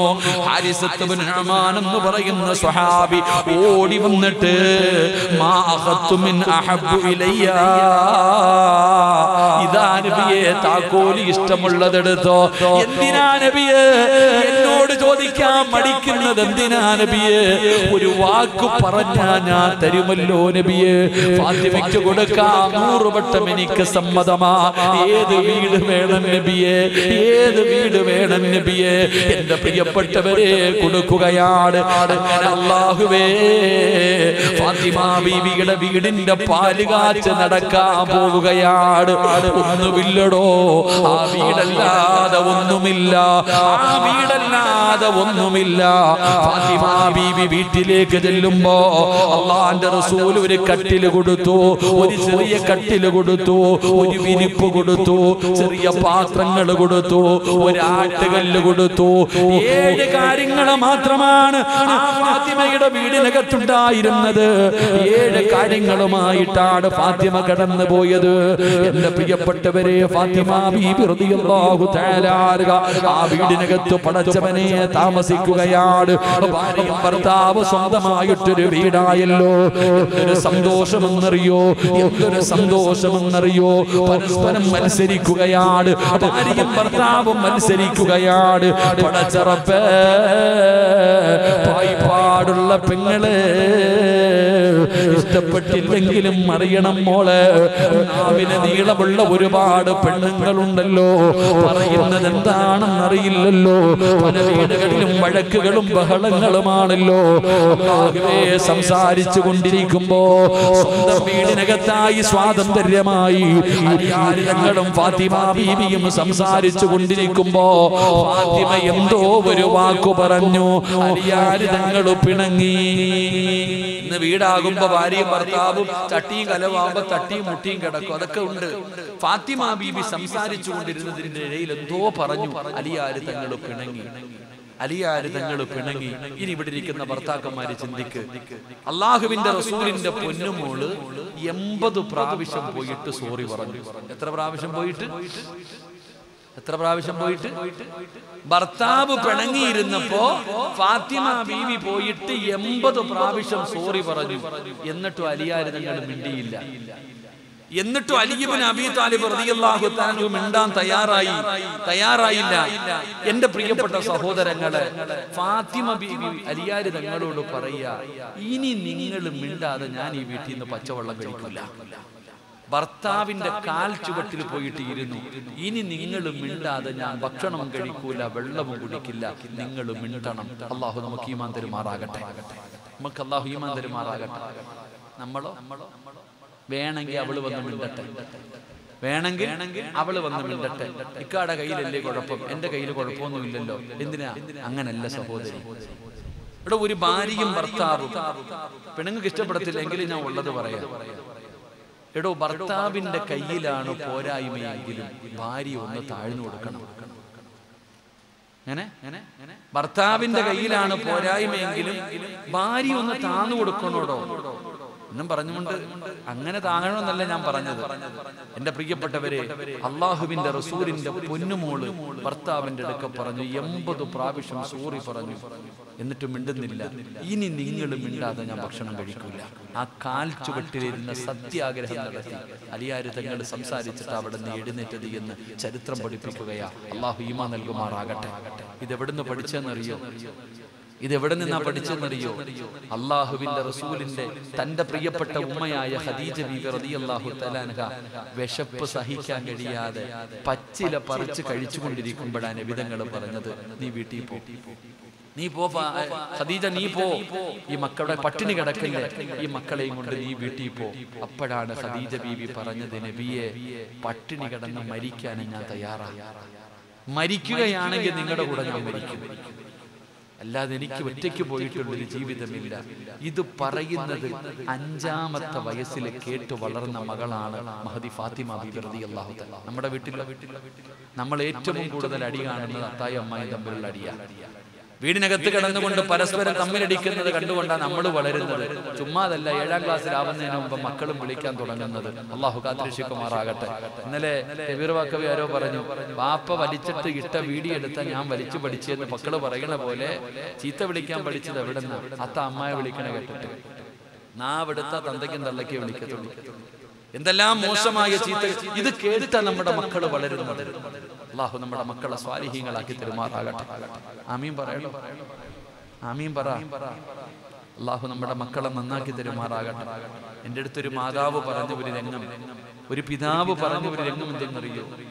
ഇപ്പൊ അവർ ഹോസ്പിറ്റലിലാണ്. അവർക്ക് ക്യാൻസർ ബ്ലഡ് ക്യാൻസർ അൻപത് ലക്ഷം രൂപ ചെലവഴിച്ചിട്ട് അവരുടെ ബ്ലഡ് മാറ്റി വെക്കുന്നു. ഡോക്ടർ പെട്ടെന്ന് വന്നിട്ട് പറഞ്ഞു തലയ്ക്കകത്ത് എന്തോ ഒരു ചെറിയ പ്രയാസം കാണുന്നു ടെസ്റ്റ് ചെയ്ത് നോക്കിയപ്പോ അവരുടെ തലയിൽ ട്യൂമർ ആയിരുന്നു. അവർക്ക് ബ്ലഡിൽ ക്യാൻസർ തലയിൽ ട്യൂമർ ഇതുമായി ബന്ധപ്പെട്ട സമയങ്ങൾ നടക്കുമ്പോ ഗൾഫിലുള്ള മകൾ പറഞ്ഞു അത്ര ഉപ്പാനോട് വിളിച്ചിട്ട് ഉപ്പാ എന്റെ അറുപത് പവൻ അവിടെ തന്നെ വെച്ചേക്കണം എടുക്കരുതെന്ന്. എന്റെ സ്വർണമൊന്നും എടുക്കാൻ പാടില്ല അവിടെ വെച്ചേക്കാൻ. ഒരു മകൾ പറയാ സുഹാനല്ലാ ഇന്നത്തെ മക്കൾ അങ്ങനെ ആയിപ്പോയടോ എന്തെങ്കിലും സംഭവിച്ചാ പറഞ്ഞാൽ മതി ഞാൻ വരുന്ന. മരിച്ച അറിയിച്ച വരാൻ ഇതാ നമ്മുടെ മക്കൾ. അള്ളാഹു നമ്മുടെ മക്കളെ നന്നാക്കി തരുമാറാകട്ടെ. അള്ളാഹു നമ്മുടെ മക്കളെ നന്നാക്കി തരുമാറാകട്ടെ. എന്റെ പ്രിയപ്പെട്ട സഹോദരങ്ങളെ നല്ല രീതിയിൽ നമ്മുടെ മക്കളെ വളർത്ത്. നല്ല രീതിയിൽ നമ്മുടെ മക്കളെ വളർത്ത്. വളർത്തി കഴിഞ്ഞാൽ അവർ നമുക്ക് ഉപകാരപ്പെടും. ആ നമ്മുടെ മക്കളെ ദുനിയാവിലും ആഹിറത്തിലും ഉപകരിക്കുന്ന മക്കളാകും. അതുകൊണ്ട് എന്റെ പ്രിയപ്പെട്ട പെങ്ങളെ നിർത്തുകയാ. അള്ളാന്റെ റസൂലിന്റെ പൊന്നുമോളുടെ ചരിത്രം ഇങ്ങനെയായിരുന്നു. ഇനി ഭർത്താക്കന്മാരോട് പറയുകയാ തെറ്റുപറ്റിയാ സമ്മതിക്കണം സഹോദര. അത് ഇമാമാണെങ്കിലും പ്രഭാസകനാണെങ്കിലും ഹത്തീവാണെങ്കിലും പ്രസിഡന്റ് ആണെങ്കിലും ഞാൻ പറയുന്നത് തെറ്റുപറ്റിയാ സമ്മതിക്കണം സഹോദര. മഹാനായ അയ്യൂബ് നബി അലിഹിസലാം അയ്യൂബ് നബിയുടെ ചരിത്രം അറിയുമല്ലോ അയ്യൂബ് നബിയുടെ പ്രിയപ്പെട്ട ഭാര്യയുടെ ചരിത്രം അറിയുമല്ലോ അയ്യൂബ് നബിയുടെ മുന്നിൽ ഇബിലീസ് വന്നിട്ട് പറയുന്ന അയ്യൂബ് നബിയെ നിങ്ങളുടെ ഭാര്യ വ്യഭിചാരത്തിൽ പിടിച്ചു. അതുകൊണ്ട് അവരുടെ മുടി മുറിച്ചെടുത്തു. പടച്ചവനെ ഇബിലീസ് വന്ന് പറഞ്ഞു കൊടുക്കുകയാണ്. അയ്യൂബ് നബിയോട് പറയുന്നു നിങ്ങളുടെ ഭാര്യ അതാ നിങ്ങളെ വഞ്ചിച്ചു. അതിന്റെ പേരിൽ അവരുടെ മുടി മുറിച്ചു. അയ്യൂബ് നബിയോട് ഇബിലീസ് വന്ന് പറയുകയാണ്. അതാ അയ്യൂബ് നബിയുടെ ഭാര്യ വീട്ടിലേക്ക് കയറി വരുമ്പോ അവിടത്തെ മുടി കാണുന്നില്ല ഒരു നിമിഷം അവിടെ നിന്ന് ചിന്തിച്ചു അല്ല കേട്ടത് സത്യമാണോ? അവസാനം അയ്യൂബ് നബി അവിടെ നിന്ന് ചോദിച്ചു എന്തു പറ്റി? അപ്പോഴാണ് സംഭവങ്ങൾ മുഴുവനും പറഞ്ഞു കൊടുക്കുന്നത്. തന്റെ ഭാര്യ തെറ്റുകാരിയല്ല എന്ന് മനസ്സിലായപ്പോ അയ്യൂബ് നബി പറയുന്നു പെണ്ണേ എനിക്ക് പൊരുത്തപ്പെട്ട് തരണേ പെണ്ണേ. ഒരു പ്രവാചകൻ തന്റെ ഭാര്യയോട് പൊരുത്തം ചോദിച്ചടോ. പാടുള്ള ആണുങ്ങളോട് പറയുകയാ തെറ്റുപറ്റിയാ തിരുത്തണ് പിഴവ് പറ്റിയാ പൊരുത്തം ചോദിക്കണ്. അള്ളാഹുവേ നിർത്തുകയാണ് പെങ്ങൾ. അള്ളാഹുവിന്റെ റസൂലിന്റെ പൊന്നാര മകൾ എന്റെ പ്രിയപ്പെട്ടവരെ അതാ തന്റെ ഭർത്താവിനോടൊപ്പം ജീവിച്ചു അള്ളാന്റെ റസൂലിന് അവിടെ നിന്ന് രോഗം വരുന്നത്. പ്രവാചകന് രോഗം കൂടുകയാണ്. വിധങ്ങൾക്ക് രോഗം കൂടുകയാണ്. അലിയാര് തങ്ങളെന്ന ഭർത്താവിനോട് ചെന്ന് ചോദിച്ചു അലിയേ എന്റെ വാപ്പയ്ക്ക് സുഖമില്ല. എന്റെ വാപ്പയ്ക്ക് സുഖമില്ല. ഞാനൊന്ന് പോകട്ടെ അലിയേ. അലിയാര് തങ്ങളോട് ഫാത്തിമ ചോദിക്കുകയാ. എന്റെ വാപ്പ സുഖമില്ലാതെ കിടക്കുകയാണ്. ഞാനൊന്ന് പോയി നിൽക്കട്ടെ. എന്റെ ഉപ്പാന്റെ അടുക്കൽ പോയിട്ടൊന്ന് ചെയ്യട്ടെ. അള്ളാഹുവെ അലിയാര് തങ്ങൾ അനുവാദം കൊടുത്തിട്ടാണ് ഫാത്തിമ പോയത്. വൈപാട് ഒരുമിച്ച് കൂടിയ പെങ്ങൾ ഭർത്താവിന്റെ അനുവാദം ചോദിച്ചിട്ടാണോ നീ പുറത്തു പോകുന്നത്? നിനക്കതിന്റെ ആവശ്യമില്ലല്ലോ. വൈപാട് കവലയിൽ ചെന്ന് നിന്നിട്ട് വിളിക്ക് ഞാനിവിടെയുണ്ട് ഭർത്താവിന്റെ പൊരുത്തമില്ലാതെ പുറത്തിറങ്ങല്ലേ? തിരിച്ചു വരുന്നത് വരെ ശാപമാ. അള്ളാന്റെ മലക്കുകളുടെ ശാപം കിട്ടും പെങ്ങൾ ഭർത്താവിന്റെ അനുവാദമില്ലാതെ ഇറങ്ങരുത്. എത്ര വലിയ കോടീശ്വരിയാണെങ്കിലും ഇറങ്ങരുത്. നിനക്ക് ചരിത്രമറിയുമോ? ഒരിക്കൽ അള്ളാഹുവിന്റെ പ്രവാചകന്റെ മുമ്പിലേക്ക് അള്ളാന്റെ റസൂലിന്റെ മുമ്പിലേക്ക് അതാ ഒരു പെണ്ണൊരാളെ പറഞ്ഞു വിടുകയാ ഒരു സംശയം ചോദിക്കാൻ എന്ത് സംശയമെന്നറിയോ? പറഞ്ഞു ഇനി നീ പോകരുത് നിന്റെ വീട്ടിലേക്ക് പോകരുത്. ഞാൻ വരുന്നത് വരെ ഈ വീടിന്റെ പുറത്ത് നീ ഇറങ്ങരുത്. നിന്റെ വീട്ടിൽ പോകാൻ പാടില്ല. പടച്ചവന് സാധാരണ അങ്ങനെയാണ്. ഭർത്താക്കന്മാർക്ക് ദേഷ്യം വന്ന ആദ്യം പറയും നീ നിന്റെ വീട്ടിൽ പോകരുത്. ഭാര്യയോട് ഭർത്താവ് പറയുകയാണ് പടച്ചവനെ അതാ ജനങ്ങളെ വന്നിട്ട് പറഞ്ഞു പെണ്ണ് നിന്റെ വാപ്പ സുഖമില്ലാതെ കിടക്കുകയാ കാണാൻ വരാറ്. നിന്നെ കാണണമെന്ന് പറയുന്നുണ്ട്. ആ സമയത്ത് ആ പെണ്ണിന് വിധങ്ങളോട് സംശയം ചോദിച്ചു നബിയേ എന്റെ ഭർത്താവ് പറഞ്ഞു വീടിന് പുറത്തിറങ്ങരുത്. വീടിന് പുറത്തിറങ്ങരുതെന്ന് എന്റെ ഭർത്താവ് പറഞ്ഞിട്ടുണ്ട്.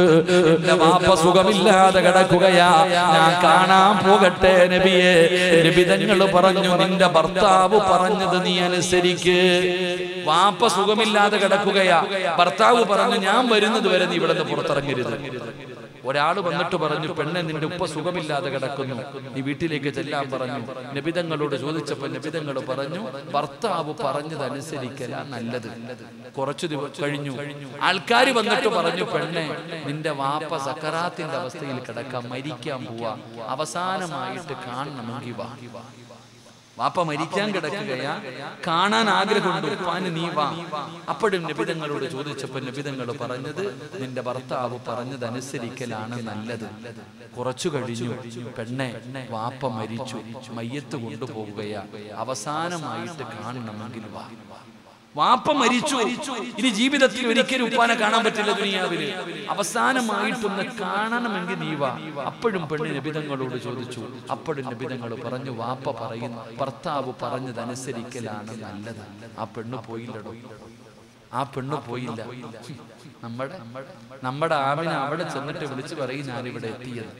ഒരു പെണ്ണ് ഭർത്താവിന്റെ അനുവാദമില്ലാതെ വീടിന്റെ പുറത്തിറങ്ങി തിരിച്ച് വീട്ടിൽ വരുന്നത് വരെ ഈ ലോകത്തുള്ള സർവചരാചരങ്ങളും ശപിക്കും. പോയ പോയതാ.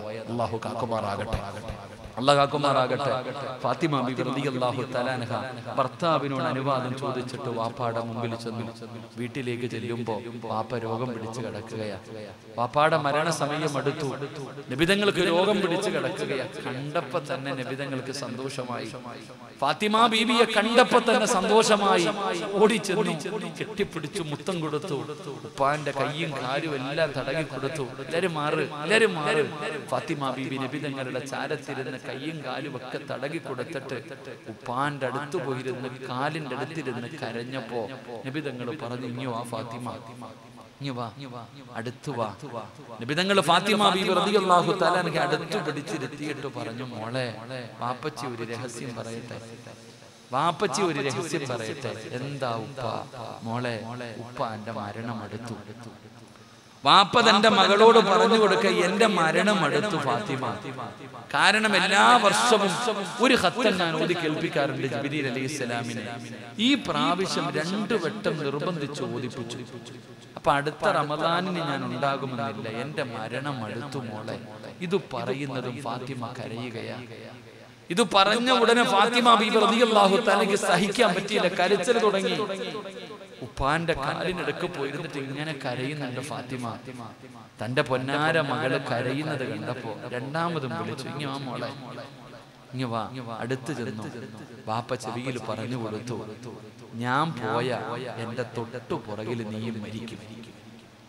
അള്ളാന്റെ റസൂൽ തങ്ങൾ ഫാത്തിമ എന്ന മകളോട് പറഞ്ഞു കൊടുക്ക ഞാൻ മരിച്ച നീ എന്റെ കൂടെയുണ്ട് ഫാത്തിമ. ഫാത്തിമ. ഉപ്പാനോട് ചോദിച്ച ചോദ്യം ഉപ്പ നിങ്ങൾ പോയാ ഞാൻ ആരാ ഉപ്പ? എന്റെ ഉമ്മ പോയി. ഉപ്പ നിങ്ങളും പോയാ എനിക്ക് ആരാ ഉള്ളേ? ഞാൻ ഒറ്റയ്ക്കായി പോകില്ലേ? അങ്ങനെ സങ്കടപ്പെടുമ്പോഴാണ് നിബിധങ്ങൾ പറഞ്ഞു കൊടുക്കുന്നത്. ഞാൻ പോയി കഴിഞ്ഞാൽ എന്റെ കുടുംബത്തിൽ ആദ്യം മരിക്കുന്നത് നീയാ. ഒരൊറ്റ ചിരിയ സഹോദര. ഫാത്തിമ ബി റളിയല്ലാഹു തആലയോട് നബിതങ്ങൾ പറഞ്ഞു നീ മരിക്കും എന്റെ കുടുംബത്തിൽ നിന്ന് ആദ്യമായിട്ട് മരണപ്പെടുന്നത് നീയാണ് ഫാത്തിമ. നബിതങ്ങൾ അവിടെ നിന്ന് പറയുമ്പോ ഫാത്തിമ ചിരിക്കുകയാണ്. മരിക്കുമെന്ന് പറഞ്ഞപ്പോൾ ചിരിച്ച പെണ്ണാണ് ഫാത്തിമ. മരിക്കുമെന്ന് പറഞ്ഞപ്പോ ഒരു പേടിയുമില്ലാതെ ചിരിച്ചവളാ ഫാത്തിമ. എന്റെ പ്രിയപ്പെട്ട പെങ്ങൾ ധൈര്യമുണ്ടോ മോളെ? നിരന്നിരിക്കുന്ന ആണുങ്ങളോട് ചോദിക്കുകയാ മരണം പറഞ്ഞാ ചിരിക്കാ ധൈര്യമുണ്ടോ? മരണം പറഞ്ഞാ ചിരിക്കാ ധൈര്യമുണ്ടോ? എന്റെ പ്രിയപ്പെട്ടവരെ പേടിയാടോ? എപ്പോഴെവിടെ വെച്ച് വേണമെങ്കിലും മരണം കടന്നു വരുമല്ലോ. ഈ വാക്ക് പറയുന്ന ഞാൻ നാളെ ഈ പള്ളിയുടെ ഉദ്ഘാടനത്തിനുണ്ടാകുമെന്ന് പറയാൻ കഴിയുമോ സഹോദര? എപ്പോഴെവിടെ വെച്ചാ മരണം വരുന്നതെന്നറിയില്ല. അല്ലാഹുവേ ഞങ്ങൾക്ക് നല്ല മരണം തരണേ അല്ല. ഈ പായിപ്പാട് പള്ളിയുടെ ചാരത്തിരിക്കുന്നവരോട് പറയുകയാ ബക്കറ്റുമായിട്ട് നിങ്ങളുടെ മുമ്പിലേക്ക് കടന്നു വരികയാണ്. സ്വർഗമല്ല ചോദിക്കുന്നത് നരകമോചനമല്ല ചോദിക്കുന്നത് സമ്പത്തല്ല ചോദിക്കുന്നത്. ഈ പള്ളികളുടെ മുമ്പിലിരിക്കുന്ന നിങ്ങളുടെ മുമ്പിലേക്ക് ബക്കറ്റുമായി കടന്നു വരുമ്പോ ആരോട് പറയേണ്ടത് എന്തെന്നറിയോ ഞാൻ ഇവിടെ നിൽക്കുമ്പോ ഒരു ചെറിയ കുഞ്ഞിന്റെ കയ്യിൽ ഒരു കെട്ട് കണ്ടടോ? ഒരു അഞ്ചു വയസ്സുള്ള ഒരു ചെറിയ മകളുടെ കയ്യിൽ ഒരു കെട്ട് കണ്ടോ? ഉമ്മയുമുണ്ട് ആ കുട്ടിയുമുണ്ട് ഒരു സഹോദരനുണ്ട്. എന്നോട് പറഞ്ഞു ഉസ്താദേ മജ്ജ മാറ്റി വെക്കാ പറഞ്ഞിരിക്കുകയാ. ലക്ഷക്കണക്കിന് രൂപ വേണം ഉസ്താദേ. എന്ന് പായിപ്പാട് പള്ളിയുടെ മിഹ്റാബിന്റെ അകത്ത് ആ മിമ്പറിന്റെ ചാരത്തൊരു പൊന്നുമോൾ നിൽക്കുന്നത് കണ്ട് കാണാനെന്ത് സൗന്ദര്യമെന്നറിയോ? ആ പൊന്നുമോളുടെ മുഖത്ത് എന്തൊരു സൗന്ദര്യമാ എന്തൊരു ഭംഗിയാ. ആ കുട്ടി അവിടെ തന്നെ നിൽക്കുകയാണ്. ബോധുന്ന മിമ്പറും പിടിച്ചിട്ടാ പൊന്നുമോൾ നിന്നപ്പോ അടുത്ത് നിന്നപ്പോഴാ പറയുന്നത് ഉസ്താദേ നടക്കാൻ പറ്റില്ല ഉസ്താദേ എന്റെ പൊന്നുമോക്ക് നടക്കാൻ പറ്റില്ല. എടോ ഇതുപോലെ എത്ര എത്ര പേരെ കാണുന്നവരാണ്. ഇന്ന് സംഘാടകർ ബക്കറ്റുമായിട്ട് മുമ്പിലേക്ക് കടന്നു വരുമ്പോ ആരോട് പറയേണ്ടതെന്തെന്നറിയോ? പറയേണ്ടത് എന്തെന്നറിയോ അല്ലാ ഇതുപോലെ പള്ളിയുടെ മുമ്പിൽ വെള്ളിയാഴ്ച വന്നിരുന്ന് യാചിക്കേണ്ട ഗതി വരുത്തല്ലേ അല്ല? മരിക്കുന്ന കാലം വരെ ഒരാളുടെ മുമ്പിൽ കൈ നീട്ടാൻ എനിക്ക് വയ്യ പടച്ചവര്. അങ്ങനെ ഒരു ഗതി വരുത്തല്ല നമ്പുരാര്. വാട്സപ്പിലും ഫേസ്ബുക്കിലും കാണുന്നവരല്ലേ സഹോദരാ? പടച്ചവനെ രോഗം പിടിച്ചു കിടക്കുന്ന മനുഷ്യന്റെ വീടി എടുക്കുകയാണ്. രോഗം പിടിച്ചു കിടക്കുന്ന ഭർത്താവ് രോഗം പിടിച്ചു കിടക്കുന്ന വാപ്പ. ആ രോഗികളുടെ ചാരത്ത് നിന്നിട്ടും മക്കൾ കരയുകയാ. എന്റെ ഉപ്പാനെ സഹായിക്കണേ. എന്റെ ഉപ്പാര സഹായിക്കണേ. ഒന്ന് ഷെയർ ചെയ്യണേ. മോനെ നിനക്കും വീടുണ്ടല്ലോ. അന്ന് വിചാരിച്ച അങ്ങനെ ഒരു വീടിയ നിന്റെ വീടിനകത്ത് എടുക്കാമല്ലോ. ഈ പള്ളിയുടെ മുമ്പിൽ ഇരുന്ന് പിരിവെടുക്കുന്നവരെ കണ്ടിട്ടില്ല? നിന്റെ ബക്കറ്റ് നിന്റെ മുമ്പിൽ വരികയാ. അല്ലാരോട് പറയണം? അല്ലാരോട് പറയണം. പടച്ചവനെ മരിക്കുന്ന കാലം വരെ എന്റെ കൈ ഒരാളുടെ മുമ്പിലും നീട്ടേണ്ട ഗതി വരുത്തല്ലേ അല്ല? മനസ്സറിഞ്ഞു കൊണ്ടെടുക്കണോ? എന്തേ സഹോദര നമുക്ക് സംഭവിച്ചത്? പടച്ചവനെ വെള്ളിയാഴ്ച ജുമയ്ക്ക് വരുമ്പോ അല്ലാഹുവേ ബക്കറ്റിന്റെ അകത്ത് പൈസ ഇടാൻ മടിയില്ലാത്തവര് എന്തേ? വന്നിട്ട് ഇങ്ങനെ ഒരു നല്ല അവസരം തന്നിട്ട് ഇടാൻ കഴിയാതെ പോകുന്നത് എന്തുകൊണ്ടാ? അതുകൊണ്ട് ഒരാളും ഇന്നിവിടെ ഇരുന്ന് മിണ്ടാതെ ഇരിക്കരുത്. എല്ലാവരും അവരുടെ പോക്കേറ്റിലേക്ക് കൈയിട് അന്ന് തന്നതിൽ നിന്നൊരു വിഹിതമെടുക്ക്. ഒരു നല്ല സതക്ക കിടക്കണോ മനസ്സറിഞ്ഞിട്ട് പറയണോ വടി പോലെ നടക്കുന്ന നിന്നെ ഒറ്റ കടപ്പിൽ കടത്താൻ അല്ലാതെ കഴിയുമല്ലോ. അങ്ങനെ നടന്ന പലരും പള്ളിപ്പറമ്പിലെത്തിയില്ല? പലരും കടന്നു പോയില്ല ഒരു രോഗവുമില്ലാത്തവർ വീണ് മരിച്ചു പോയില്ല ശരീരം തളർന്നു കിടക്കുന്നവരിൽ ക്യാൻസർ രോഗികളിൽ മാരകമായ രോഗമുള്ളവരിൽ. അതുകൊണ്ട് സഹോദര പക്കറ്റുമായിട്ട് വരികയാ. മനസ്സറിഞ്ഞു കൊണ്ടെടുത്തോ മനസ്സറിഞ്ഞു കൊണ്ടെടുത്തോ അള്ളാന്റെ മലക്കുകൾ സാക്ഷികളാ. അള്ളാന്റെ മലക്കുകൾ സാക്ഷികളാ. മനസ്സറിഞ്ഞു കൊണ്ടൊരു സദകയെടുക്ക് നാഥാ. ആരെല്ലാം മനസ്സറിഞ്ഞു കൊണ്ടൊരു സദക്ക കൊടുക്കുന്നുണ്ടോ? കൈവിടല്ലേ? അല്ലാ. കൈവിടല്ലേ? അല്ലാ. മാരകമായ അറുത്തു മുറിക്കുന്ന രോഗങ്ങളെ തൊട്ട് നീ കാക്കണേ അല്ലാ. പടച്ചവനെ മരിക്കണ കാലം വരെ ഒരാളുടെ മുമ്പിലും കൈ നീട്ടരുത്. ഒന്ന് പോക്കറ്റ് കൈയിട്ട് ഇട് ചങ്ങായിമാരെ പൈസ എടുക്കണ്ട. ഒന്ന് കൈയിട് ഒന്ന് കൈയിട് അള്ളാഹുവെ ഈ പോക്കറ്റ് കൈയിടുന്നവർക്ക് നീ സ്വർഗം കൊടുക്കണേ തമ്പുരാനെ. വീടോ ചങ്ങാതി. പൈസ എടുക്കണ്ട. നാസർ ബക്കറ്റുമായിട്ട് പോകുന്നവർ സ്പീഡ് കുറയ്ക്കുക ബക്കറ്റുമായിട്ട് പോകുന്നവർ സ്പീഡ് കുറയ്ക്കാം നിങ്ങളുടെ കയ്യിലുള്ളതിലൊരു സദക്ക. ഒക്കെ അലഹമില്ല മൂന്ന് സ്വലാത്ത് സല്ലല്ലാഹു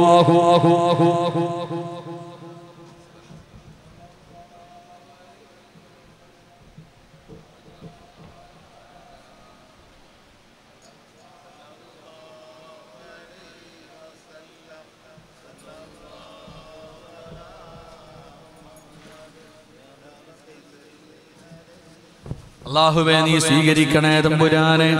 പടച്ചവനെ ഈ സദക്കയുടെ പറക്കത്തുകൊണ്ട് മാരകമായ രോഗങ്ങളെ തൊട്ട് കാക്കണേ അല്ലാ അറുത്തു മുറിക്കല്ലേ അല്ലാ കണ്ണുനീര് കുടിപ്പിക്കല്ലേ അല്ലാ അതുകൊണ്ട് പന്ത്രണ്ട് മണിയായി നിർത്തുകയാണ്.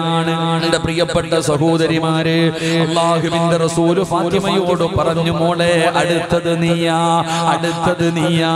പറഞ്ഞത് സത്യമായിരുന്നു പെങ്ങളെ. പറഞ്ഞത് സത്യമായിരുന്നു പെങ്ങളെ. അള്ളാഹുവിന്റെ റസൂലിന്റെ പൊന്നാര മകളോട് പറഞ്ഞത് സത്യമായിരുന്നു. പടച്ചവനെ ഫാത്തിമ ബീബി ഇരുപത്തൊമ്പത് വയസ്സായി. ഫാത്തിമ ബീബി റളിയല്ലാഹു തആല ഇരുപത്തൊമ്പത് വയസ്സായി. തന്റെ ഭർത്താവിനോടൊപ്പം സന്തോഷത്തോടെ ജീവിച്ചു കൊണ്ടിരിക്കുകയാ. ഇരുപത്തൊമ്പതാമത്തെ വയസ്സിൽ അല്ലാ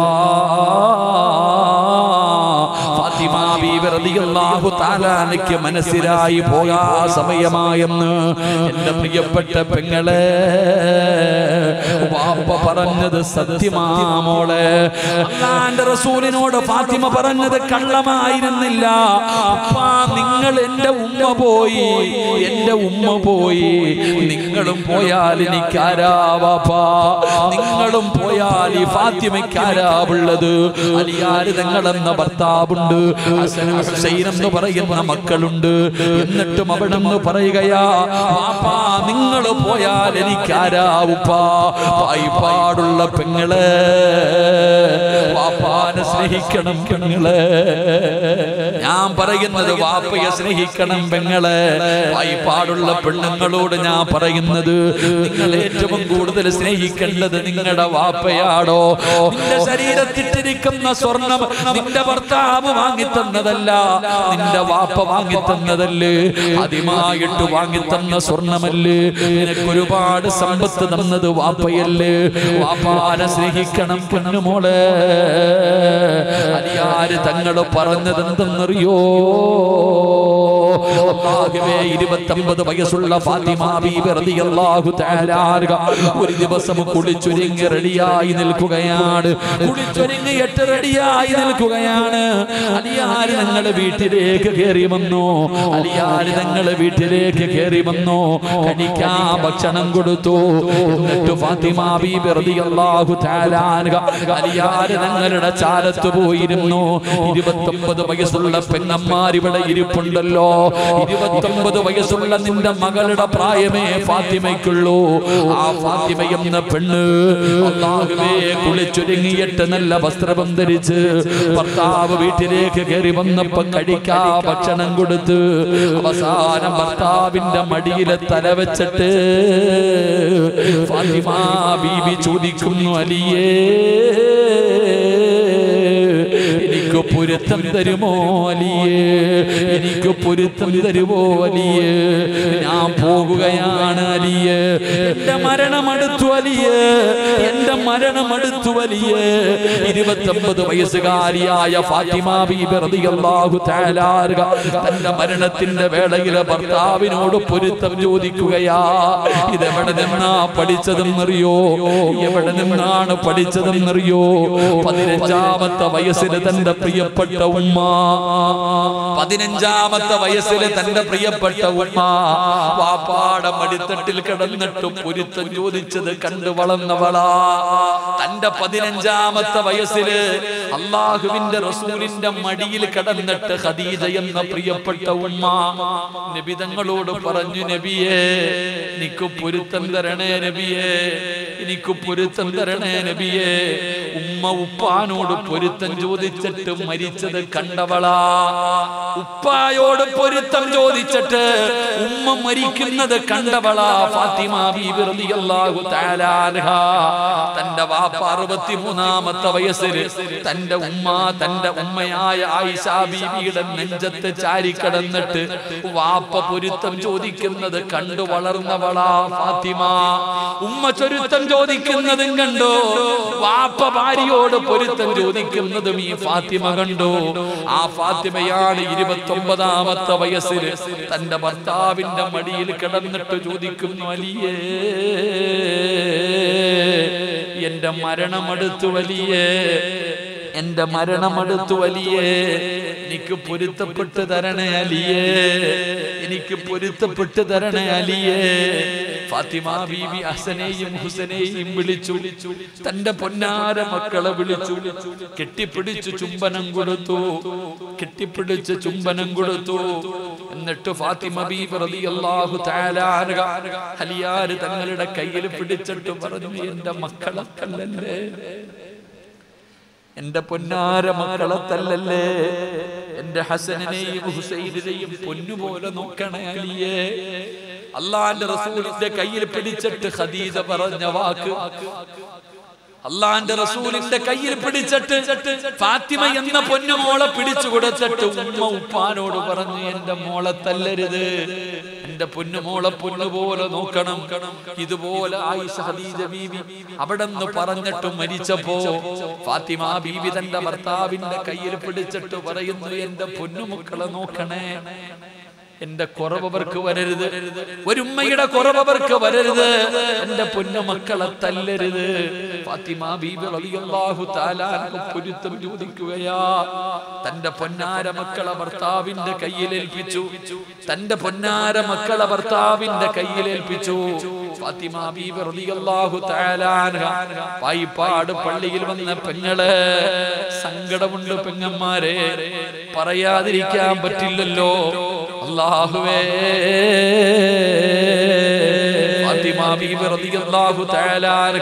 അലിയാര് തങ്ങളോട് പറയുകയാണ് ഞാൻ മരിച്ച രാത്രി വേണം കബറടക്കാൻ. ഞാൻ മരിച്ച രാത്രി വേണം കബറടക്കാൻ. എന്തേ ഫാത്തിമ? എന്തേ ഫാത്തിമ? അലിയാര് തങ്ങളോട് പറയുന്നു എന്റെ മയ്യത്ത് വെള്ള തുണിയിൽ പൊതിയുന്നത് അന്യപുരുഷന്മാരാണ് എന്റെ ജനാസ ചുമക്കുന്നത് ആണുങ്ങളാണ്. എന്റെ ജനാസ കബറിൽ ഇറക്കുന്നതും ആണുങ്ങളാണ്. മൂന്ന് കഷ്ടം വെള്ള തുണിയിൽ വരിഞ്ഞു കെട്ടിയിട്ട് എന്റെ മയ്യത്ത് കൊണ്ടുപോകുന്നത് പകലാണെങ്കിൽ അവരെന്റെ ശരീരത്തിന്റെ വടിവ് കാണുന്നത് എനിക്കിഷ്ടമല്ല അലിയേ. ഒരാളും എന്റെ ശരീരത്തിന്റെ വടിവ് കാണരുത്. അത് മരിച്ചു കൊണ്ടുപോകുന്ന സമയത്ത് പോലും എനിക്കിഷ്ടമല്ല എന്ന് പറഞ്ഞ ഫാത്തിമ എന്റെ പ്രിയപ്പെട്ട പെങ്ങളെ പായിപ്പാടോ അല്ലെങ്കിൽ ചങ്ങനാശേരിയിൽ പോയി ഫറത എടുക്കും.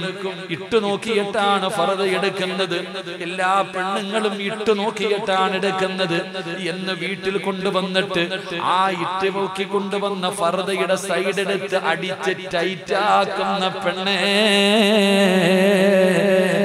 എന്റെ പായിപ്പാടുള്ള സഹോദരിമാരോട് ഇമാമല്ലേ പറയണമല്ലോ ഇമാമല്ലേ പറയണമല്ലോ.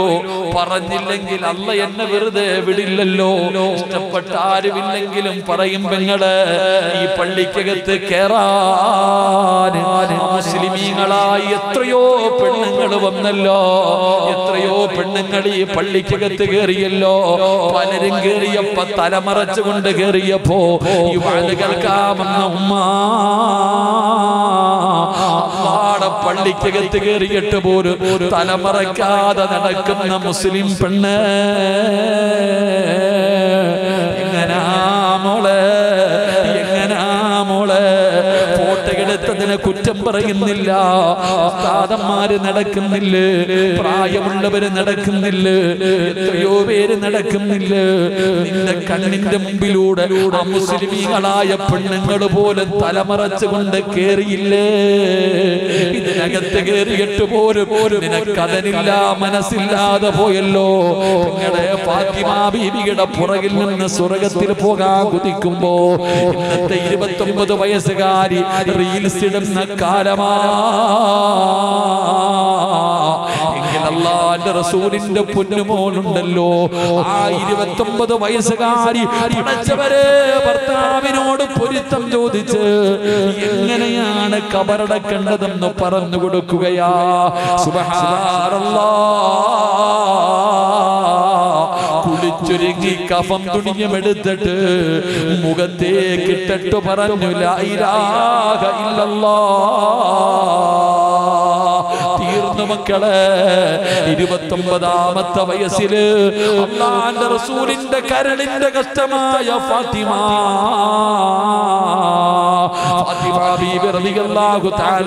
യാത്രയാകുകയാണ്? കൊണ്ടുപോയടോ കുളിപ്പിച്ച് കഫം പൊതിഞ്ഞ് ജന്നത്തിൽ ബക്കിയിൽ കൊണ്ടുപോയി കബറടക്കുകയാണ്. ഇന്നും പോയാ കാണാമല്ലോ. ജന്നത്തിൽ ബക്കിയിൽ കൊണ്ടുപോയി കബറടക്കി. എന്നിട്ട് വീട്ടിലേക്ക് വന്നു. രാത്രിയായപ്പോ സുബ്ഹാനല്ലാഹ് തങ്ങളുടെ മക്കളെയും കെട്ടിപ്പിടിച്ച് വീടിനകത്തിരിക്കുകയാ തന്റെ പൊന്നാര മക്കളെയും കെട്ടിപ്പിടിച്ച് വീടിനകത്തിരിക്കുകയാണ് തന്റെ മക്കൾ ഉറങ്ങിയപ്പോ ഒരു ദിവസമേ ആയുള്ളൂ. ഇന്നലെ രാത്രി ഫാത്തിമ കൂടെയുണ്ട്. ഇന്നത്തെ രാത്രി ഫാത്തിമ കൂടെയില്ല. ഒറ്റ രാത്രിയേ ആയുള്ളൂ. നിങ്ങൾക്ക് സങ്കടമായി. ഫാത്തിമ ഇല്ലാതെ കഴിയുന്നില്ല. ഫാത്തിമ ഇല്ലാതെ കഴിയുന്നില്ല. അലിയാര് തങ്ങൾ രാത്രിയിൽ പോകുകയാണ്. ജന്നത്തുൽ ബക്കിയിൽ ചെന്നു. തന്റെ ഭാര്യയുടെ കവറിന്റെ ചാരത്ത് നിന്നു. അലിയാര് തങ്ങളെ ചെന്നിട്ട് പറഞ്ഞു ഫാത്തിമ അവിടെ ഫാത്തിമയോട് സലാം പറയുകയാ. ജന്നത്തിൽ ബക്കിയിലെ തന്റെ പ്രിയപ്പെട്ട കബ തന്റെ പ്രിയപ്പെട്ട ഭാര്യയുടെ കബറിന്റെ ചാരത്ത് ചെന്ന് അവിടെ സലാം പറഞ്ഞു മടക്കുന്നില്ല മടക്കുന്നില്ല. അലിയാര് തങ്ങൾ ചോദിക്കുന്നു ഫാത്തിമ പിണങ്ങിയോ ഫാത്തിമ? എന്നോട് പിണങ്ങിയോ ഫാത്തിമ? എന്തേ സലാമടക്കാത്തത്? പിണങ്ങല്ലേ ഫാത്തിമ? രണ്ടാമതും സലാം പറഞ്ഞു. രണ്ടാമതും സലാം പറഞ്ഞു. ഫാത്തിമ സലാമടക്കുന്നില്ല. പടച്ചവരെ അലിയാരിതങ്ങൾ പിണങ്ങി മണിയറയ്ക്കകത്ത് കിടക്കുമ്പോ ഭാര്യയും ഭർത്താവും പിണങ്ങിയിട്ട് കിടക്കുമ്പോ അടുത്ത് കിടന്നിട്ട് പിണങ്ങല്ലേ പിണങ്ങല്ലേ? പിണങ്ങി കിടക്കുന്ന ഭർത്താവ് തന്റെ ഭാര്യയെ വിളിക്കുന്നത് പോലെ മരിച്ച് കബറടക്കിയിട്ട് ഒന്നാമത്തെ രാത്രിയിൽ കബറിന്റെ പോയി നിന്നിട്ട് പറയുന്നു പിണങ്ങല്ലേ ഫാത്തിമ സലാം അടക്കു ഫാത്തിമ. നീ ഇല്ലാതെ എനിക്ക് പറ്റില്ല ഫാത്തിമ. ഒരു ഭർത്താവ് ഭാര്യയോട് പറയുകയാ ഒരു ഭർത്താവ് ഭാര്യയോട് പറയുകയാ നീ ഇല്ലാതെ എനിക്ക് പറ്റില്ല ഫാത്തിമ. നീ ഇല്ലാതെ എനിക്ക് പറ്റില്ല ഫാത്തിമ. രണ്ടാമതും സലാം പറഞ്ഞു. സലാം അടക്കുന്നില്ല. അറിയാറ് നിങ്ങൾ കബറിന്റെ ചാരത്തിരുന്നു.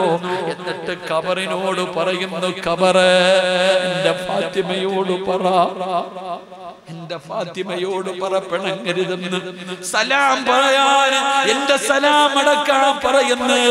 മരിച്ചുപോയ ഭാര്യയുടെ കബറിന്റെ ചാരത്ത് ചെന്നിരുന്ന അരിയാലുകൾ പറയുമ്പോ എന്തൊരു ജീവിതമായിരുന്നടോ?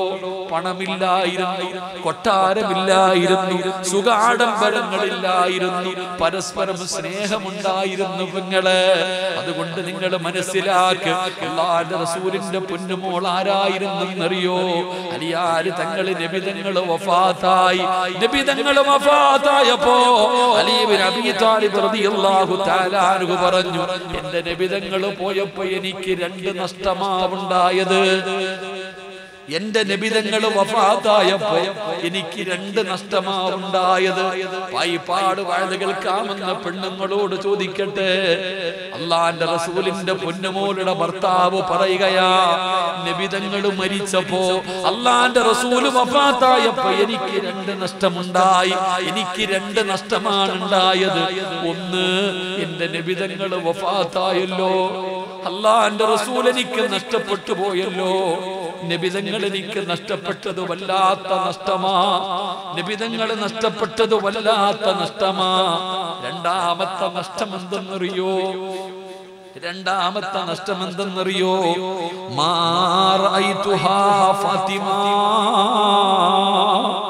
അള്ളാന്റെ റസൂൽ വഫാത്തായതിനു ശേഷം അള്ളാന്റെ റസൂൽ വഫാത്തായതിനു ശേഷം മരിക്കുന്ന ദിവസം വരെ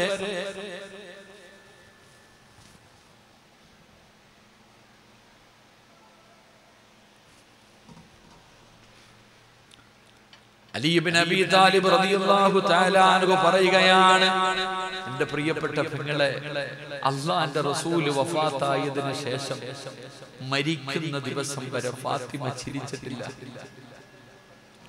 അലീബിൻ അബി താലിബ് റളിയല്ലാഹു തആല അൻഹു പറയാ നബിതങ്ങൾ പോയതോടൊപ്പം എന്റെ ഫാത്തിമയും പോയടോ നബിതങ്ങൾ പോയതിനോടൊപ്പം എന്റെ ഫാത്തിമയും പോയി. ഇപ്പൊ ഇല്ലെങ്കിൽ പിന്നെ ഏത് മോളോടും അതല്ലേ സ്നേഹം? അതിനല്ലേ സ്നേഹമെന്ന് പറയാ. കരളിന്റെ കഷ്ടമെന്ന് പറഞ്ഞ അങ്ങനല്ലേ. നബിതങ്ങൾ വഫാത്തായതിനു ശേഷം മരിക്കുന്ന ദിവസം വരെ ഫാത്തിമ ചിരിച്ചിട്ടില്ലടോ. ഹലിയാര് നിങ്ങൾ പറയാ ഞാൻ ഒരുപാട് താമസം പറഞ്ഞു നോക്കി. എന്റെ ഫാത്തിമാനെ ഒന്ന് ചിരിപ്പിക്കാൻ എന്റെ ഫാത്തിമയുടെ മുഖത്തൊരു സന്തോഷം ഉണ്ടാക്കാൻ ഞാനും എന്റെ മക്കളും ഒരുപാട് കഷ്ടപ്പെട്ടു. മരിക്കുന്നത് വരെ എന്റെ ഫാത്തിമ ചിരിച്ചില്ല. മരിക്കുന്ന കാലം വരെ എന്റെ ഫാത്തിമ ചിരിച്ചില്ലടോ? അലിബിൻ അബി താലിബ് റളിയല്ലാഹു തആല പറയാ നബി പോയപ്പോ നബിതങ്ങളും പോയി എന്റെ ഭാര്യ പോയി. രണ്ടുപേരും പോയി. എന്റെ പ്രിയപ്പെട്ട സഹോദരങ്ങളെ അതാണ് നബിതങ്ങളോട് ആ മകൾക്കുണ്ടായിരുന്ന സ്നേഹം. ആ നബിതങ്ങളോടുള്ള മകളുടെ സ്നേഹം അത്ര വലുതായിരുന്നു അതുകൊണ്ട് എന്റെ പ്രിയപ്പെട്ട സഹോദരിമാരെ സഹോദരങ്ങളോട് ഞാൻ പറയുന്നു ആ ഫാത്തിമ ബീവിയുടെ പുറകിൽ നിന്നാണ് നാളെ നിങ്ങളൊക്കെ സ്വർഗത്തിൽ പോകേണ്ടത്. ആ സ്വർഗത്തിൽ പോകുന്നത് പോയിട്ട് ആ സ്വർഗം അള്ളഹാനോടൊന്ന് തായ് എന്ന് ചോദിക്കുന്നത് പോയിട്ട് ആ സ്വർഗത്തിന്റെ പരിമളം അഞ്ഞൂറ് വർഷത്തെ വഴിദൂരം വരെ അടിച്ചു അതൊന്ന് ശ്വസിക്കാനുള്ള അർഹതയെങ്കിലും എനിക്ക് നിങ്ങൾക്കുണ്ടോ എന്ന് ചിന്തിക്കുക. അള്ളാഹു നമുക്ക് ഈമാ നൽകി അനുഗ്രഹിക്കുമാറാകട്ടെ. എന്റെ പ്രിയപ്പെട്ട സഹോദരങ്ങളെ സഹോദരിമാരെ അതുകൊണ്ട് ഞാൻ നിർത്തുകയാ. എന്റെ പ്രിയപ്പെട്ട സഹോദരങ്ങളെ സഹോദരിമാരെ നാം എന്ത് ചെയ്യുക? മഹതിമാരുടെ ചരിത്രങ്ങൾ പഠിക്കുക. അവരുമായിട്ടൊരു ബന്ധമുണ്ടാക്കുക. ആ ഫാത്തിമിയെ നിങ്ങൾ സ്നേഹിക്ക്. സ്നേഹിച്ച നിബിതങ്ങളെ സ്നേഹിച്ചവരെ പോലെയാണെന്ന് ആദരവായ പ്രവാചകൻ നബി മുഹമ്മദ് മുസ്തഫ.